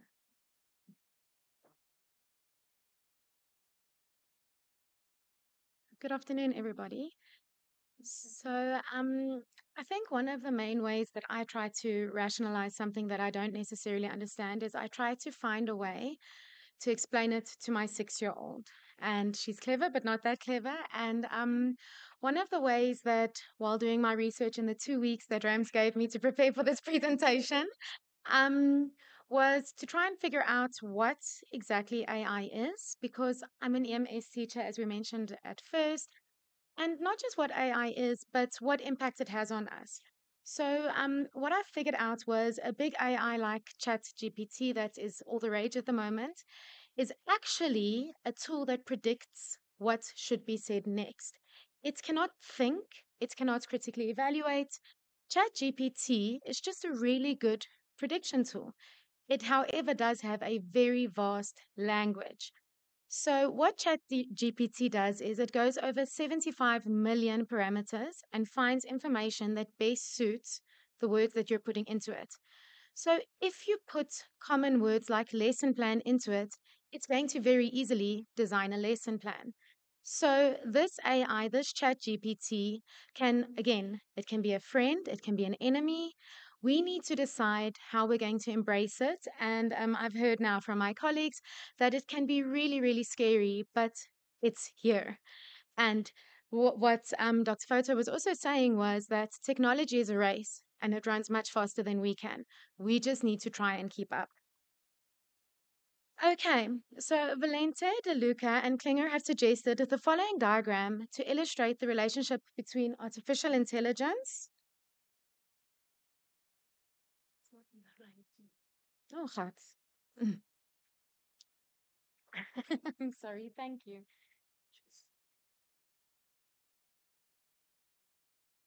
Which button is it? Oh, ah, thank you so much. There we go. Okay. So they suggested the following diagram that shows the relationship between artificial intelligence, academic integrity, and assessment principles. And as you can see, there's that tiny little sweet spot in the middle that we're still looking for, that we haven't found yet. But I think we need to keep in mind that artificial intelligence is not new. Google has been able to suggest the end of our sentences for years. I have been speaking to Siri in the morning, asking her what the weather is, or we've been speaking to Alexa. Um, social media has artificial intelligence that monitors where we're driving, who we're speaking to, what we look at a little bit longer on social media. Artificial intelligence is not new. It's been around for many years. GPT, GPT-3, and now ChatGPT is the newest version, but GPT and GPT-3 are really old. Not really old, but they've been around for a couple of years. So the attention that ChatGPT is gaining is due to its sophisticated language and the fact that it is widely available and it's really user friendly. You can write an entire essay from your phone. I have heard that doctoral students are able to write an entire dissertation. Oh, good. I must try that. Maybe I'll finish faster. um, so then, um, next, academic integrity is also not new problems with academic integrity has been around since universities and schools have existed. Um, we also need to remember that even in the olden days, I'm talking about 2019 or before that, we had to have in we had to have invigilators invigilating sessions to ensure academic integrity. Students didn't show up to an empty venue and just be honest and do the right thing. We have to have our postgrad dissertations and theses going through Turnitin Academic integrity is not a new concept, it's not a new battle. And assessment principles. We need to um, align, our university needs to align the assessment principles and policies to mirror change. Unfortunately, as we know, policy change takes really long, and technology is this race, and we are not keeping up. So we need to find the sweet spot between artificial intelligence, academic integrity, and our assessment principles to enhance learning and to give our students the best chance in our current climate, in our current world. How can we give them the best chance with the tools that they have? So, very briefly, the evolution of academic dishonesty, it's not a new thing. Not that long ago, in 1998, we had students would go onto the internet, copy and paste. And if you look, it's gone all the way up to now the newest is our AI generated writing. And what I'm saying by this is not using Chat GPT or AI as a tool, because that could have a lot of potential, a lot of benefits, as the panelists have mentioned. But putting something into ChatGPT or into an AI, copying and pasting it, and producing it as your own. That is a form of academic dishonesty. And I believe that the people that have gone before us have been fighting this good fight since 1998, trying to find out, or before, much, you know, long before that, trying to find out what are we going to do with this new technology to try and ensure um, academic integrity. So, um, when this committee asked me to participate in this discussion, I was very nervous, actually a little bit reluctant. I think Rams is just very charming. And um, because academic integrity is not my field, but actually it is. Students' integrity is not my field, but actually it is. I am a PhD student, I am a lecturer, I am an emerging scholar, and each and every one of our developed scholars, this is our field. And if it isn't, it should become our field. We need to attend workshops. We need to figure out what is going on with this AI, how is it prevalent in our modules, and also how we can use it. It's not going anywhere. It is only going to get bigger, smarter, more sophisticated. We need to try and keep up with the, the change. So I asked ChatGPT, I put into one of my continuous assessments is for to ask my students to write a lesson plan in EMS. And um, I put that into ChatGPT, and I was honestly shocked at the beautiful lesson plan it gave me. It had the um, our action verbs, our blooms from easier to most more complicated. It even gave time frames per section of the lesson, and it even asked the students real world engagement.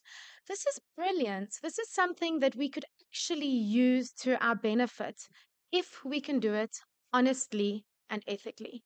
I think that is the key here is honesty, ethic, and ethics. So then what I asked ChatGPT to do next is okay, but design a lesson plan for learners with hearing disabilities. And again, it gave me this beautiful response of a lesson plan in detail the introduction, the body, the conclusion, real world applications for supply and demand for my grade nines in my EMS class for learners with hearing disabilities. Again, we can see AI as an enemy or we can see it as a friend, uh, frenemy, probably both. But we need to try and embrace it. And I think that when I first started teaching, I was shocked. I was floored by the amount of other work there was. And I had to do lesson plans at night. Couldn't this have helped me? Couldn't I have used this? And again, honestly and ethically, use this lesson plan and built upon it for my own classroom in my context for the learners in my class. Could that not have actually benefited our learners? Okay, let's quickly. So, very quickly, before I move on, I think that when we're deciding should we embrace or reject artificial intelligence, should we try and resist it, we need to look at who are we teaching and what are we preparing them for. We are teaching the teachers of the fourth industrial revolution. Our very own Prof. Markwe and Prof. Gasa always tell us you're not training the teachers of next year. You're training the teachers of four years or five years from now. And we need to make sure that those teachers are entering the fourth industrial revolution classroom. Then I found myself thinking, but the majority of our South African classrooms don't have laptops and they don't have whiteboards, but they could. Here is an example of a school in a rural community. It is a no fee school in a rural community. When COVID came, they realized that the old Model C schools were able to continue teaching, but they couldn't. So they made a plan, they found funding, and they built a few AI classrooms Here's a picture of it. Again, this is at a no fee school in a rural area. If they can do it, many other schools can. Are we preparing our teachers to teach in the classroom above? Or are we preparing them to teach in the classroom below? And what role does AI and embracing technology and AI play in it? Okay, so very briefly, as I can I, sorry, I'm so sorry. Okay, very briefly, um, I think that while we're in this very awkward phase between knowing what is written fully by artificial intelligence, what our students are using as a learning aid, what we as emerging researchers are using, we can maybe have a meeting with our markers, also have a meeting with our students, and look at some of these key aspects at identifying artificial intelligence, fully generated artificial intelligence text. So you will notice the text is often wordy, although I get that all the time that I'm wordy, but the text is often wordy. Then sesquipedalian, I had to Google it, also how to pronounce it. If you see a word like that, it actually means using big words unnecessarily. It's probably also AI generated if you have to Google it and Google how to pronounce it. Often AI will produce repetitive phrases and patterns, and it has a lack of human emotion and experiences. Hyperbole or contrasting ideas, you will notice that in one paragraph, it's entirely different from the next paragraph. This is because, again, it's gone to search 75 million parameters to find different ideas that match your word of lesson plan. So, of course, it will find contrasting ideas. And of course, the context is not specific to South Africa. AI cannot think the way a human can, it lacks insight. And um, it also alternates between British and American English. So in the one sentence, the student will spell behavior without a U, and in the next sentence, they will spell behavior with a U. And um, then also, you will be able to use tools such as Copyleaks. I wanted to go into it, but I don't think I have time. Please go play around. There are many AI detection tools, but Copyleaks allows you to copy a part of text, post it into it, and then it will tell you, is this human or AI generated? So perhaps if you see a bunch of these red flags popping up from your students, or you know, as as me as an emerging researcher, go into one of these tools and test it perhaps.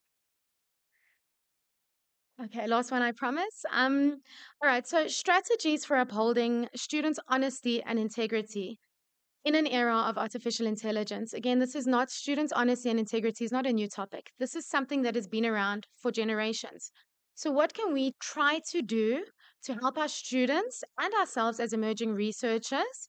The list is still um, ever developing, but some of the literature that I came across was the university needs to be specific and improve our assessment standards because I'm not 100% sure how I will punish a student for something that has been generated by AI because it's so difficult to pick up the plagiarism. 75 million data sources. Turnitin is not going to pick it up as plagiarized as easily because it's bits and pieces from 75 million spaces. Then um, educating our emerging researchers and our students on on AI, instead of pretending like it doesn't exist and like it's horrible, let's have meetings, go to our students and say, look, guys, this is incredible. Look what it can do. Let's use it. And then also, let's ensure that our students know that copying from AI is plagiarism. I think that some students maybe don't know that. They see this tool, but they are using it. I think um, one of the previous panelists spoke about are you going to abuse the tool? Then we also need to promote ethical thinking and critical thinking in our students. We need to make our students want to behave ethically. And with a distance university, that is incredibly challenging. We don't have contact with our students, but I think that we need to try.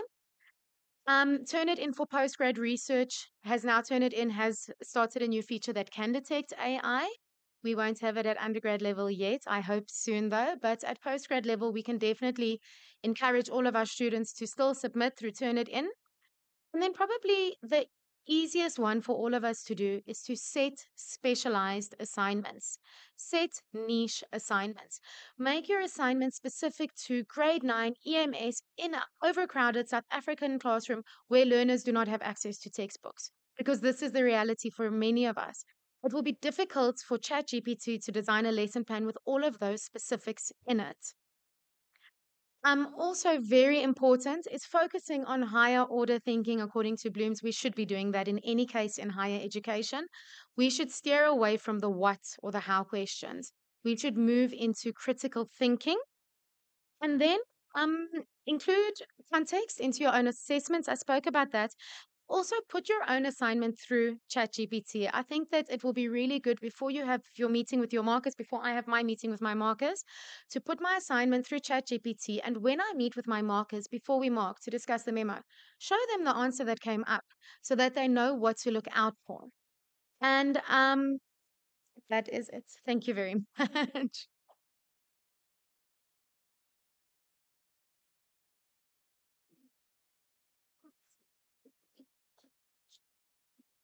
Yeah. Colleagues, I think all I can say is I am so proud of my team. I am extremely proud of my team. Can we just give them a round of applause? It's honestly not easy standing up here. As I've mentioned, you only just speaking to like a million people. So yeah, I am really, really, really proud of you guys. I don't know what to give you. Yo, Flowers. Something. Um, colleagues, not to waste time, I think we're going to skip our moderated discussion and move over to questions and answers. So open the floor for question uh, questions and answers. Can I have you get the mic and then move around? So yeah, can we ask our panelists questions, please?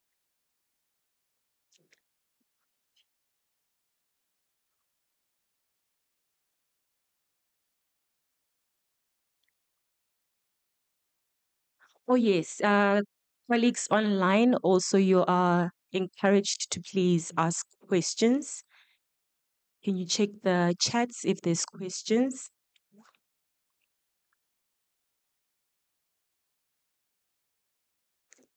Any questions in the auditorium? Even just one, colleagues? I know you're intimidated by us. There's a question there at the back.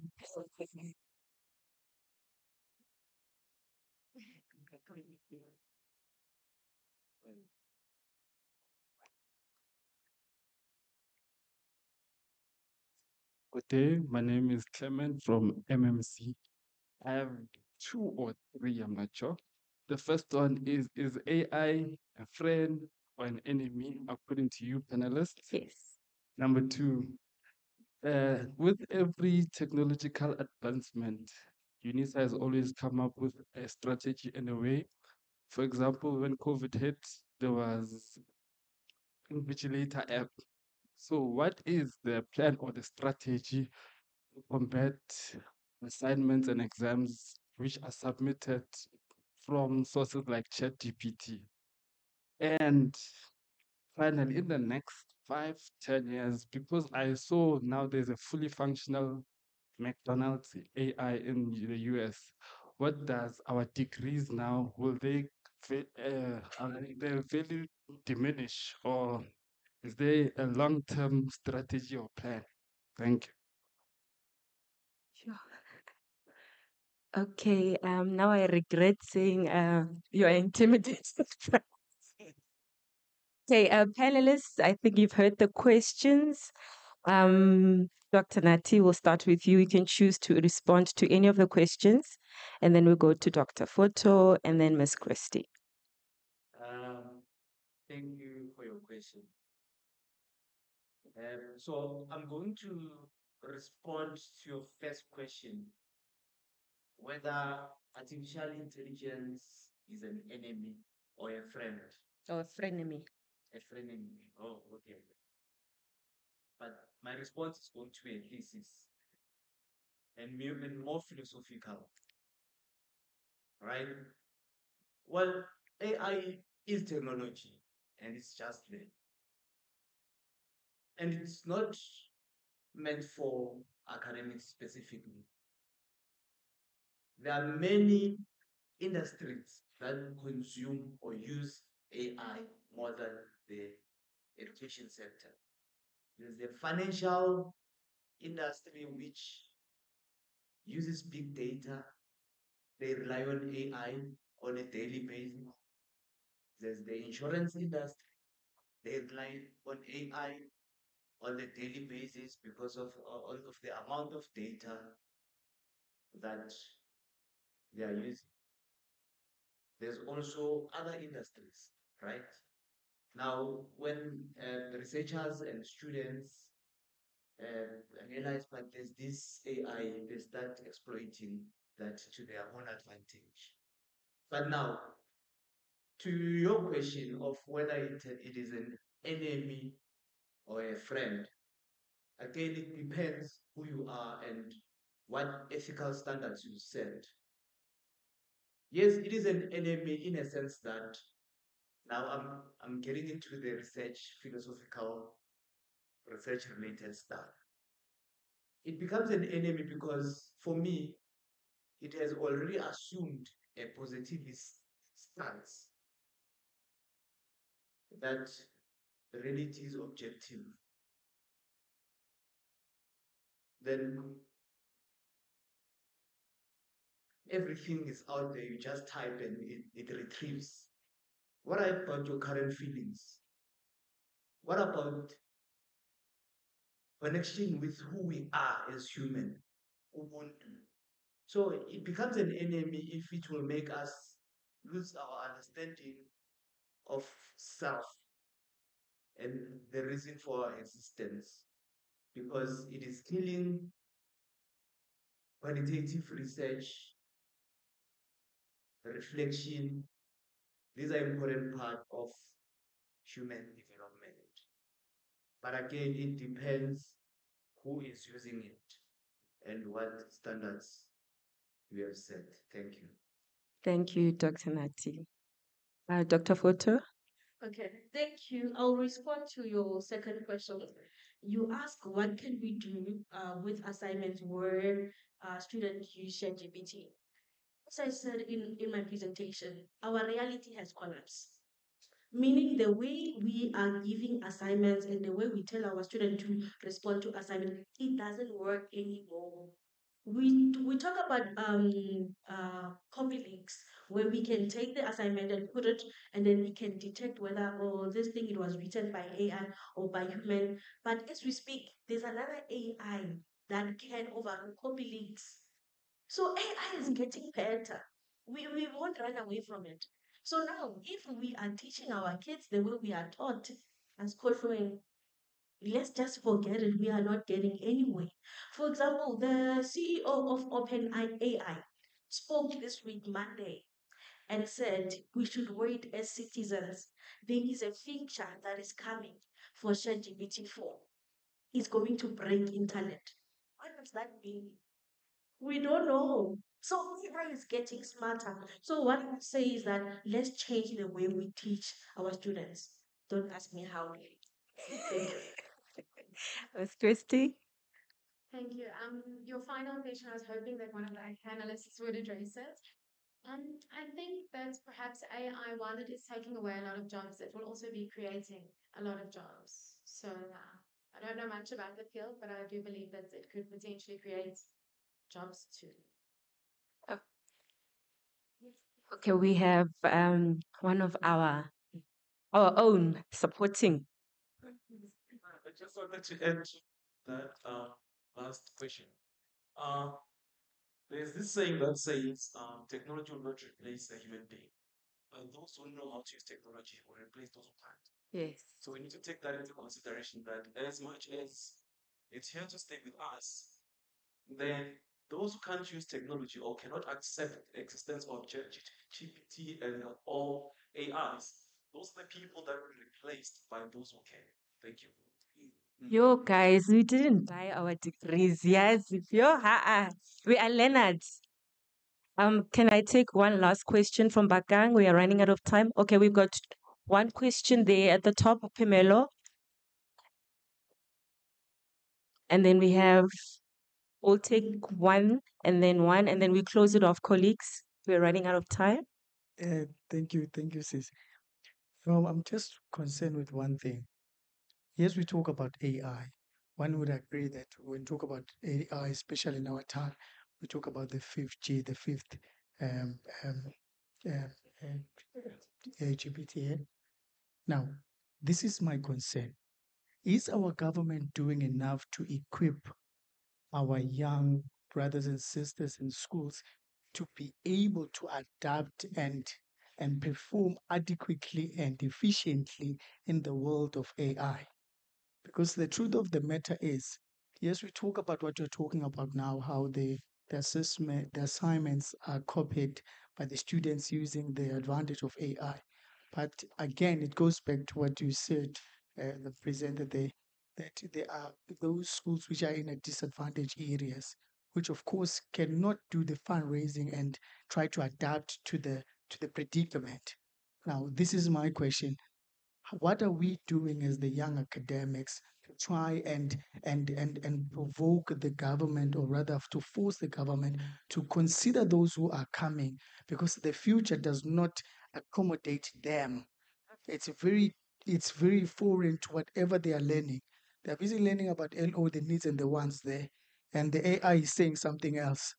So I think we, we need to also not only um, take it low, but also try and and, and chairman write papers. Thank you. Thank you so much, Pamela, for your comment. I will take the next question, and there's another question that was raised this side. Okay, thank you, uh, panelists. Um, first, let me add to your uh, presentations by saying that uh, there's a need for us to actually teach our students the proper way to use AI tools, especially for uh, assignment writing or essay writing or for research purposes. For example, if you ask ChatGPT to give you uh, specific uh, sources on an information, then you find out that ChatGPT will just make up non-existent references those things are fake. They are not existing. Then another thing is, if a student is so clever, so smart to the extent that he does not even hide it in the assignment that he's submitting to us, he does not hide the fact that he has engaged AI in solving the assignment by citing uh, or by referencing uh, ChatGPT, for instance, then what should be our reaction to such? Uh, how do we how do we go about assessing such a student's assignment? Should we uh, should we be open enough to accept the fact that this student is clever and also honest by declaring that he has used ChatGPT in writing the assignment and referencing it properly? I think uh, we should begin to engage on this, uh, you know, on this too. So because we, we don't have to close our minds to those uh, interesting parts of AI tools, you know, helping us. For example, when there's something we call a, block, a writer's block. So, so it might be only the conclusion of a paper you want to write, and for one or two weeks you couldn't even know how to conclude the paper. Now, there's there's a way ChatGPT can even help, help you suggest what to write, and from there you pick it up. You don't have to copy word for word. Just get an insight and move on with the paper and conclude it. So I think to some extent, the importance, uh, uh, the important capabilities that ChatGPT has as, as a tool, as a technology tool, you know, helping us to do our work faster and more efficiently is something that we should engage our students with and not to discourage them from using it. Thank you. Thank you so much. Uh, speaking of uh, fake publications, uh, ChatGPT actually published me two weeks ago in in a theological journal, in my maiden name, even not bad. Can we get the last question that side and then we close off?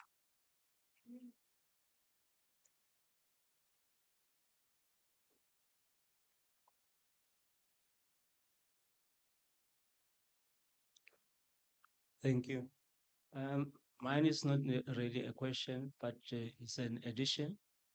Um, AI in some other sectors, um, let me offer a bit. In agricultural sectors, it really um, uh, job opportunities. Take, for instance, there's a farmer that I know in Sweden. He runs around uh, a thousand of dairy cattle. It's him and his wife. But before, you would have 150 employees. But because of the technology, now the 150 employees, they've lost their job. So now is is is is AI is going to be here. Mm-hmm. Now, coming back to the doctor up there, that what is the government doing? And helping our young ones that are coming after us. How are we able to equip them so that they are able to, to get job opportunities uh, within the space of, of AI. And again, uh, as, as, as researchers, yes, now it's very easy to write an article. It's very easy to, to, to, to or, or maybe I can say it's very easy because now people just say cut and paste to do some of the things, which now it becomes an enemy. And also, it limits also the, the, the, the intelligence of a person because now you are depending on, on, on Google Scholar, we are depending on, on, on Google. We are just uh, researching on Google. But now is uh, people sometimes they find difficult to get in the library and search a book, sit down, make notes from there. So say, no, why not uh, would I take uh, this information, put it on Google, and then it will do my assignment or everything. Thank you. Sure. Yeah, that's true. Um, colleagues, as I've said, we're running out of time. So our next item on the agenda is uh, with Dr. Masibe, who will be doing the commentary on the presentations that we had today. Over to you, Doc.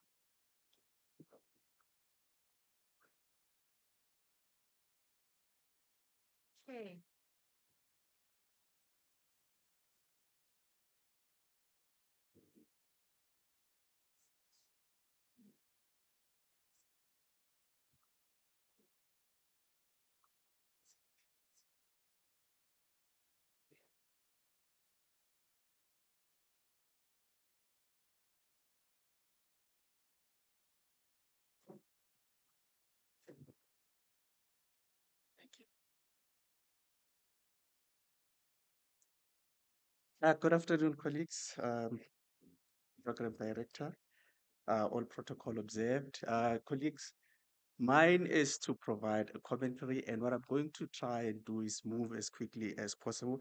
I mean, many of the many of the things um, have already been uh, shared by the panelists here, um, and I would like to mention that my focus would be a reflection, of course, and commentary on what has already been presented.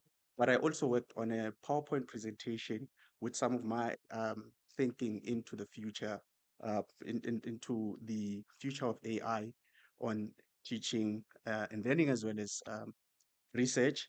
Uh, if you look at the following, I, I selected this diagram carefully because um, I I believe that, like it has been said, that AI has benefits even though it also has challenges. But for me, we need to use these these uh, tools. We, we we can't just uh, ignore AI. It is here to stay, and uh, our best bet is to use it to our advantage. Okay, so uh, we just have uh, present a commentary on um, my reflection, also incorporating what has been said already in terms of the future of AI in research and uh, in teaching and learning. Um, okay, so here I was just talking about um, my own reflection of what is currently being done, and it, it, it corresponds with uh, many of the items that have already been uh, shared by the um, panelists. And I was just looking at the use of AI into teaching, uh, zooming into lesson planning. How does how can it uh, uh, assist us? I mean, the entire discussion, or yeah, that has been shared by the panelists, touched on the benefits, and I see some benefits of AI into uh, lesson planning. I'm just thinking if you consider teachers that are not academics, that don't do uh, research, would probably struggle to find out what do learners struggle with before when they plan for instruction. But through AI, they can try and find out what do learners struggle with, and that can shape their planning and their teaching. And we have what we call uh, virtual and uh, augmented realities that uh, uh, uh, basically try to recreate real life situation, which is a teaching and learning activity that we, we should use to help our learners understand concepts um, and uh, assessment. It saves us time. I mean, that is the whole point of development and technologies to try and solve our problems. So the problems that we have, we have a, a, a huge workload. We have to mark a lot of uh, scripts and so on when we can't do it. But if we have tools that can assist us with these things, why not? Why not? We should we should use them, you know. Um, and then I also basically thought about um, and listening to what has been said, of course, uh, the use of AI in research. I'm going to be honest with you. I use ChatGPT to give me a structure, and I think we should encourage. We can't. Uh, we can't try by all means to catch our students. I mean, uh, the panelists was talking about uh, the issue of integrity, and that I did not introduce uh, challenges with integrity. Uh, we've always had issues. I mean, so what we must do is we should. I would encourage my students to use um, AI to help them with personalized learning. I use it myself to learn. I work, you know, uh, I work at UNISA, and when I joined, I had to work with assessments that were not designed by me. That's how it works, right? Because we create our uh, assessments a year earlier. And if someone joins an institution uh, where the assessments have already been designed, now they have to mark it. And now you have to think how was the previous uh, lecturer thinking when they uh, formulated this question? And if you struggle, you can you can consult with AI.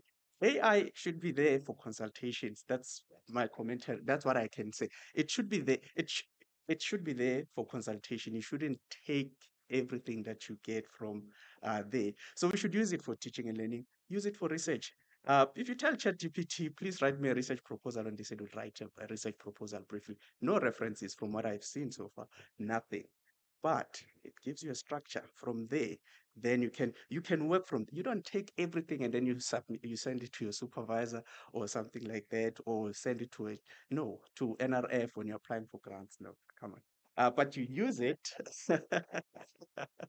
But yes it's it's it's it's a tool that is meant to assist us. So i will shoot straight into future prospects. And you know, I, I reviewed literature here when I was given two weeks. I must, yeah, for two long weeks, I've reviewed literature to try and find out what do scholars who work in AI say about the, future. And I also asked ChatGPT, and the craziest thing is researchers, humans, speculate that uh, AI will eventually be capable of, uh, of carrying out instructions without teachers. So they basically speculate that it can carry out classroom instruction. I mean, uh, Dr. Foto also mentioned uh, some scary thoughts and statistics and speculations about uh, what the future holds. And um, AI tells you that no, uh, technology wouldn't replace us. And for me, I I should agree with AI. I, I, don't think it should it should replace us. I mean, there was a question whether AI is is, is going to take our jobs, and then there was a an answer to that uh, that you know what, uh, those who do not adapt, of course, those who do not adapt, those are the ones who would be in trouble. Uh, I, I, I- I indicated in my uh, concluding remarks there that, uh, you know what, the uh, Darwin's theory of natural selection has never been more relevant. I think that for me captures what we should do with the AI tools that we have. Those who want to be selected naturally will do whatever it takes, but those that don't want to be selected naturally, they will not, they will not do anything. They will just let the AI do the thing for them, and that is what will create uh, the problems that we have. So um, yeah, that's basically my story in terms of what I see as um, the AI and um, in terms of uh, teaching and learning, uh, arguing that we should use the tool. It helps a lot if you want to generate big data, analyze big data. It is there to help to assess big um, classes and so on, help you with assessments.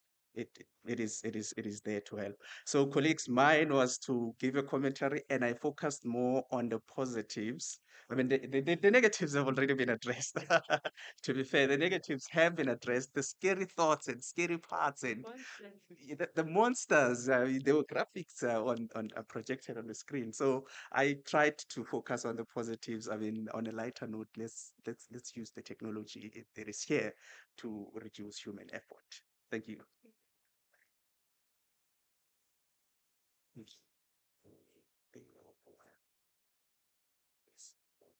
Thank you so much, Dr. M- Um, Mazibe. Uh, you mentioned that ChatGPT does not provide references. It depends how you feed ChatGPT. So you write, ChatGPT, write me an abstract or an article with references in text and reference list according to the APA style it will give you. Alice. Anyway, um, that brings us to the end of our program for the second session. Um, colleagues, I just want to take this time to just say thank you for allowing us this space to cement ourselves. It's all, uh, it's truly been an honor for us to be here. It's a privilege. We don't take this opportunity for granted. Um, thank you so much for your time. You could have been at home, but you decided to be here with us. Um, yeah, so I'm going to hand over to our MC for the day. And yeah, thank you so much, colleagues.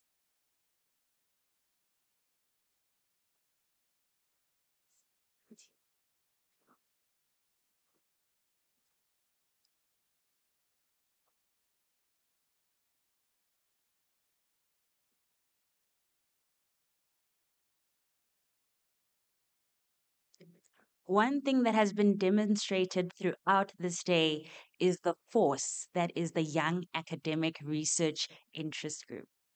We have come with a mandate to serve academia, to serve brilliance, to serve a spirit of excellence and confidence. So it's been an honor and a privilege to be your program director throughout this day. As we are coming to close, I have one announcement. Tomorrow's session for the CEDU Research and Innovation Week will be fully online. There is a link that has been provided and it is in, in most of our calendars for tomorrow morning. And the sessions will be beginning at nine o'clock in the morning and it is fully online. So don't get dressed and come here. You won't find anyone. so we look forward to seeing you tomorrow. Another announcement that we have is that at the end of closure today, please can everybody remain behind so that we can come to the front and take a group picture to just commemorate the day that was and all of us being here. And from me, I think the most important thing that has stood out is that we are no longer fixating on the opportunity to network with the hierarchies that have been inherited. But now we are learning how to network across and using the people that are on our level, below our level, as well as above us. So it's going to be an exciting ride for all of us young academics here in the College of Education. And in closing, we have Mrs. Aisha Karim from the Department of Early Childhood Education, and she's going to do our closing. Thank you.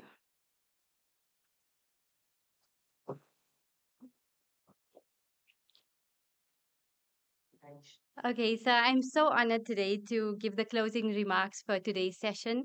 Um, we got to officially launch our um, CEDU Young Academic Interest Research Group, uh, which was something so amazing. I'm so inspired by all our academics. Uh, as a PhD student myself, uh, you know, I got the supportive uh, environment community uh, that I can go to. I mean, just yesterday we had a supportive um, writing um, you know, workshop where I was able to, um, you know, give uh, ask basically um, for some assistance just with my writing in general, with my literature review. Uh, so it's such a nice um, a support group that we have. And I'm so um, thankful to Professor Gasa and uh, the executive members as well as our CODs for giving us this opportunity. And also, I want to um, thank all our speakers today. Um, I really um, am so inspired by all the presentations. Uh, we really learned a lot today, and I'm inspired to write an article myself with this I, uh, AI that we uh, we learned about today.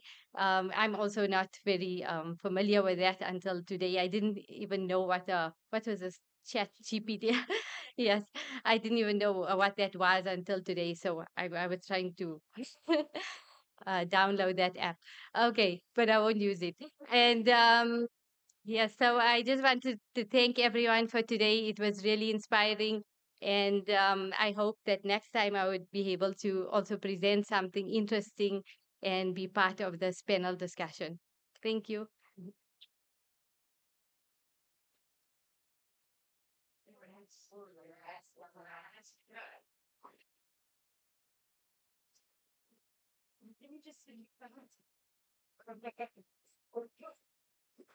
Yes, we can.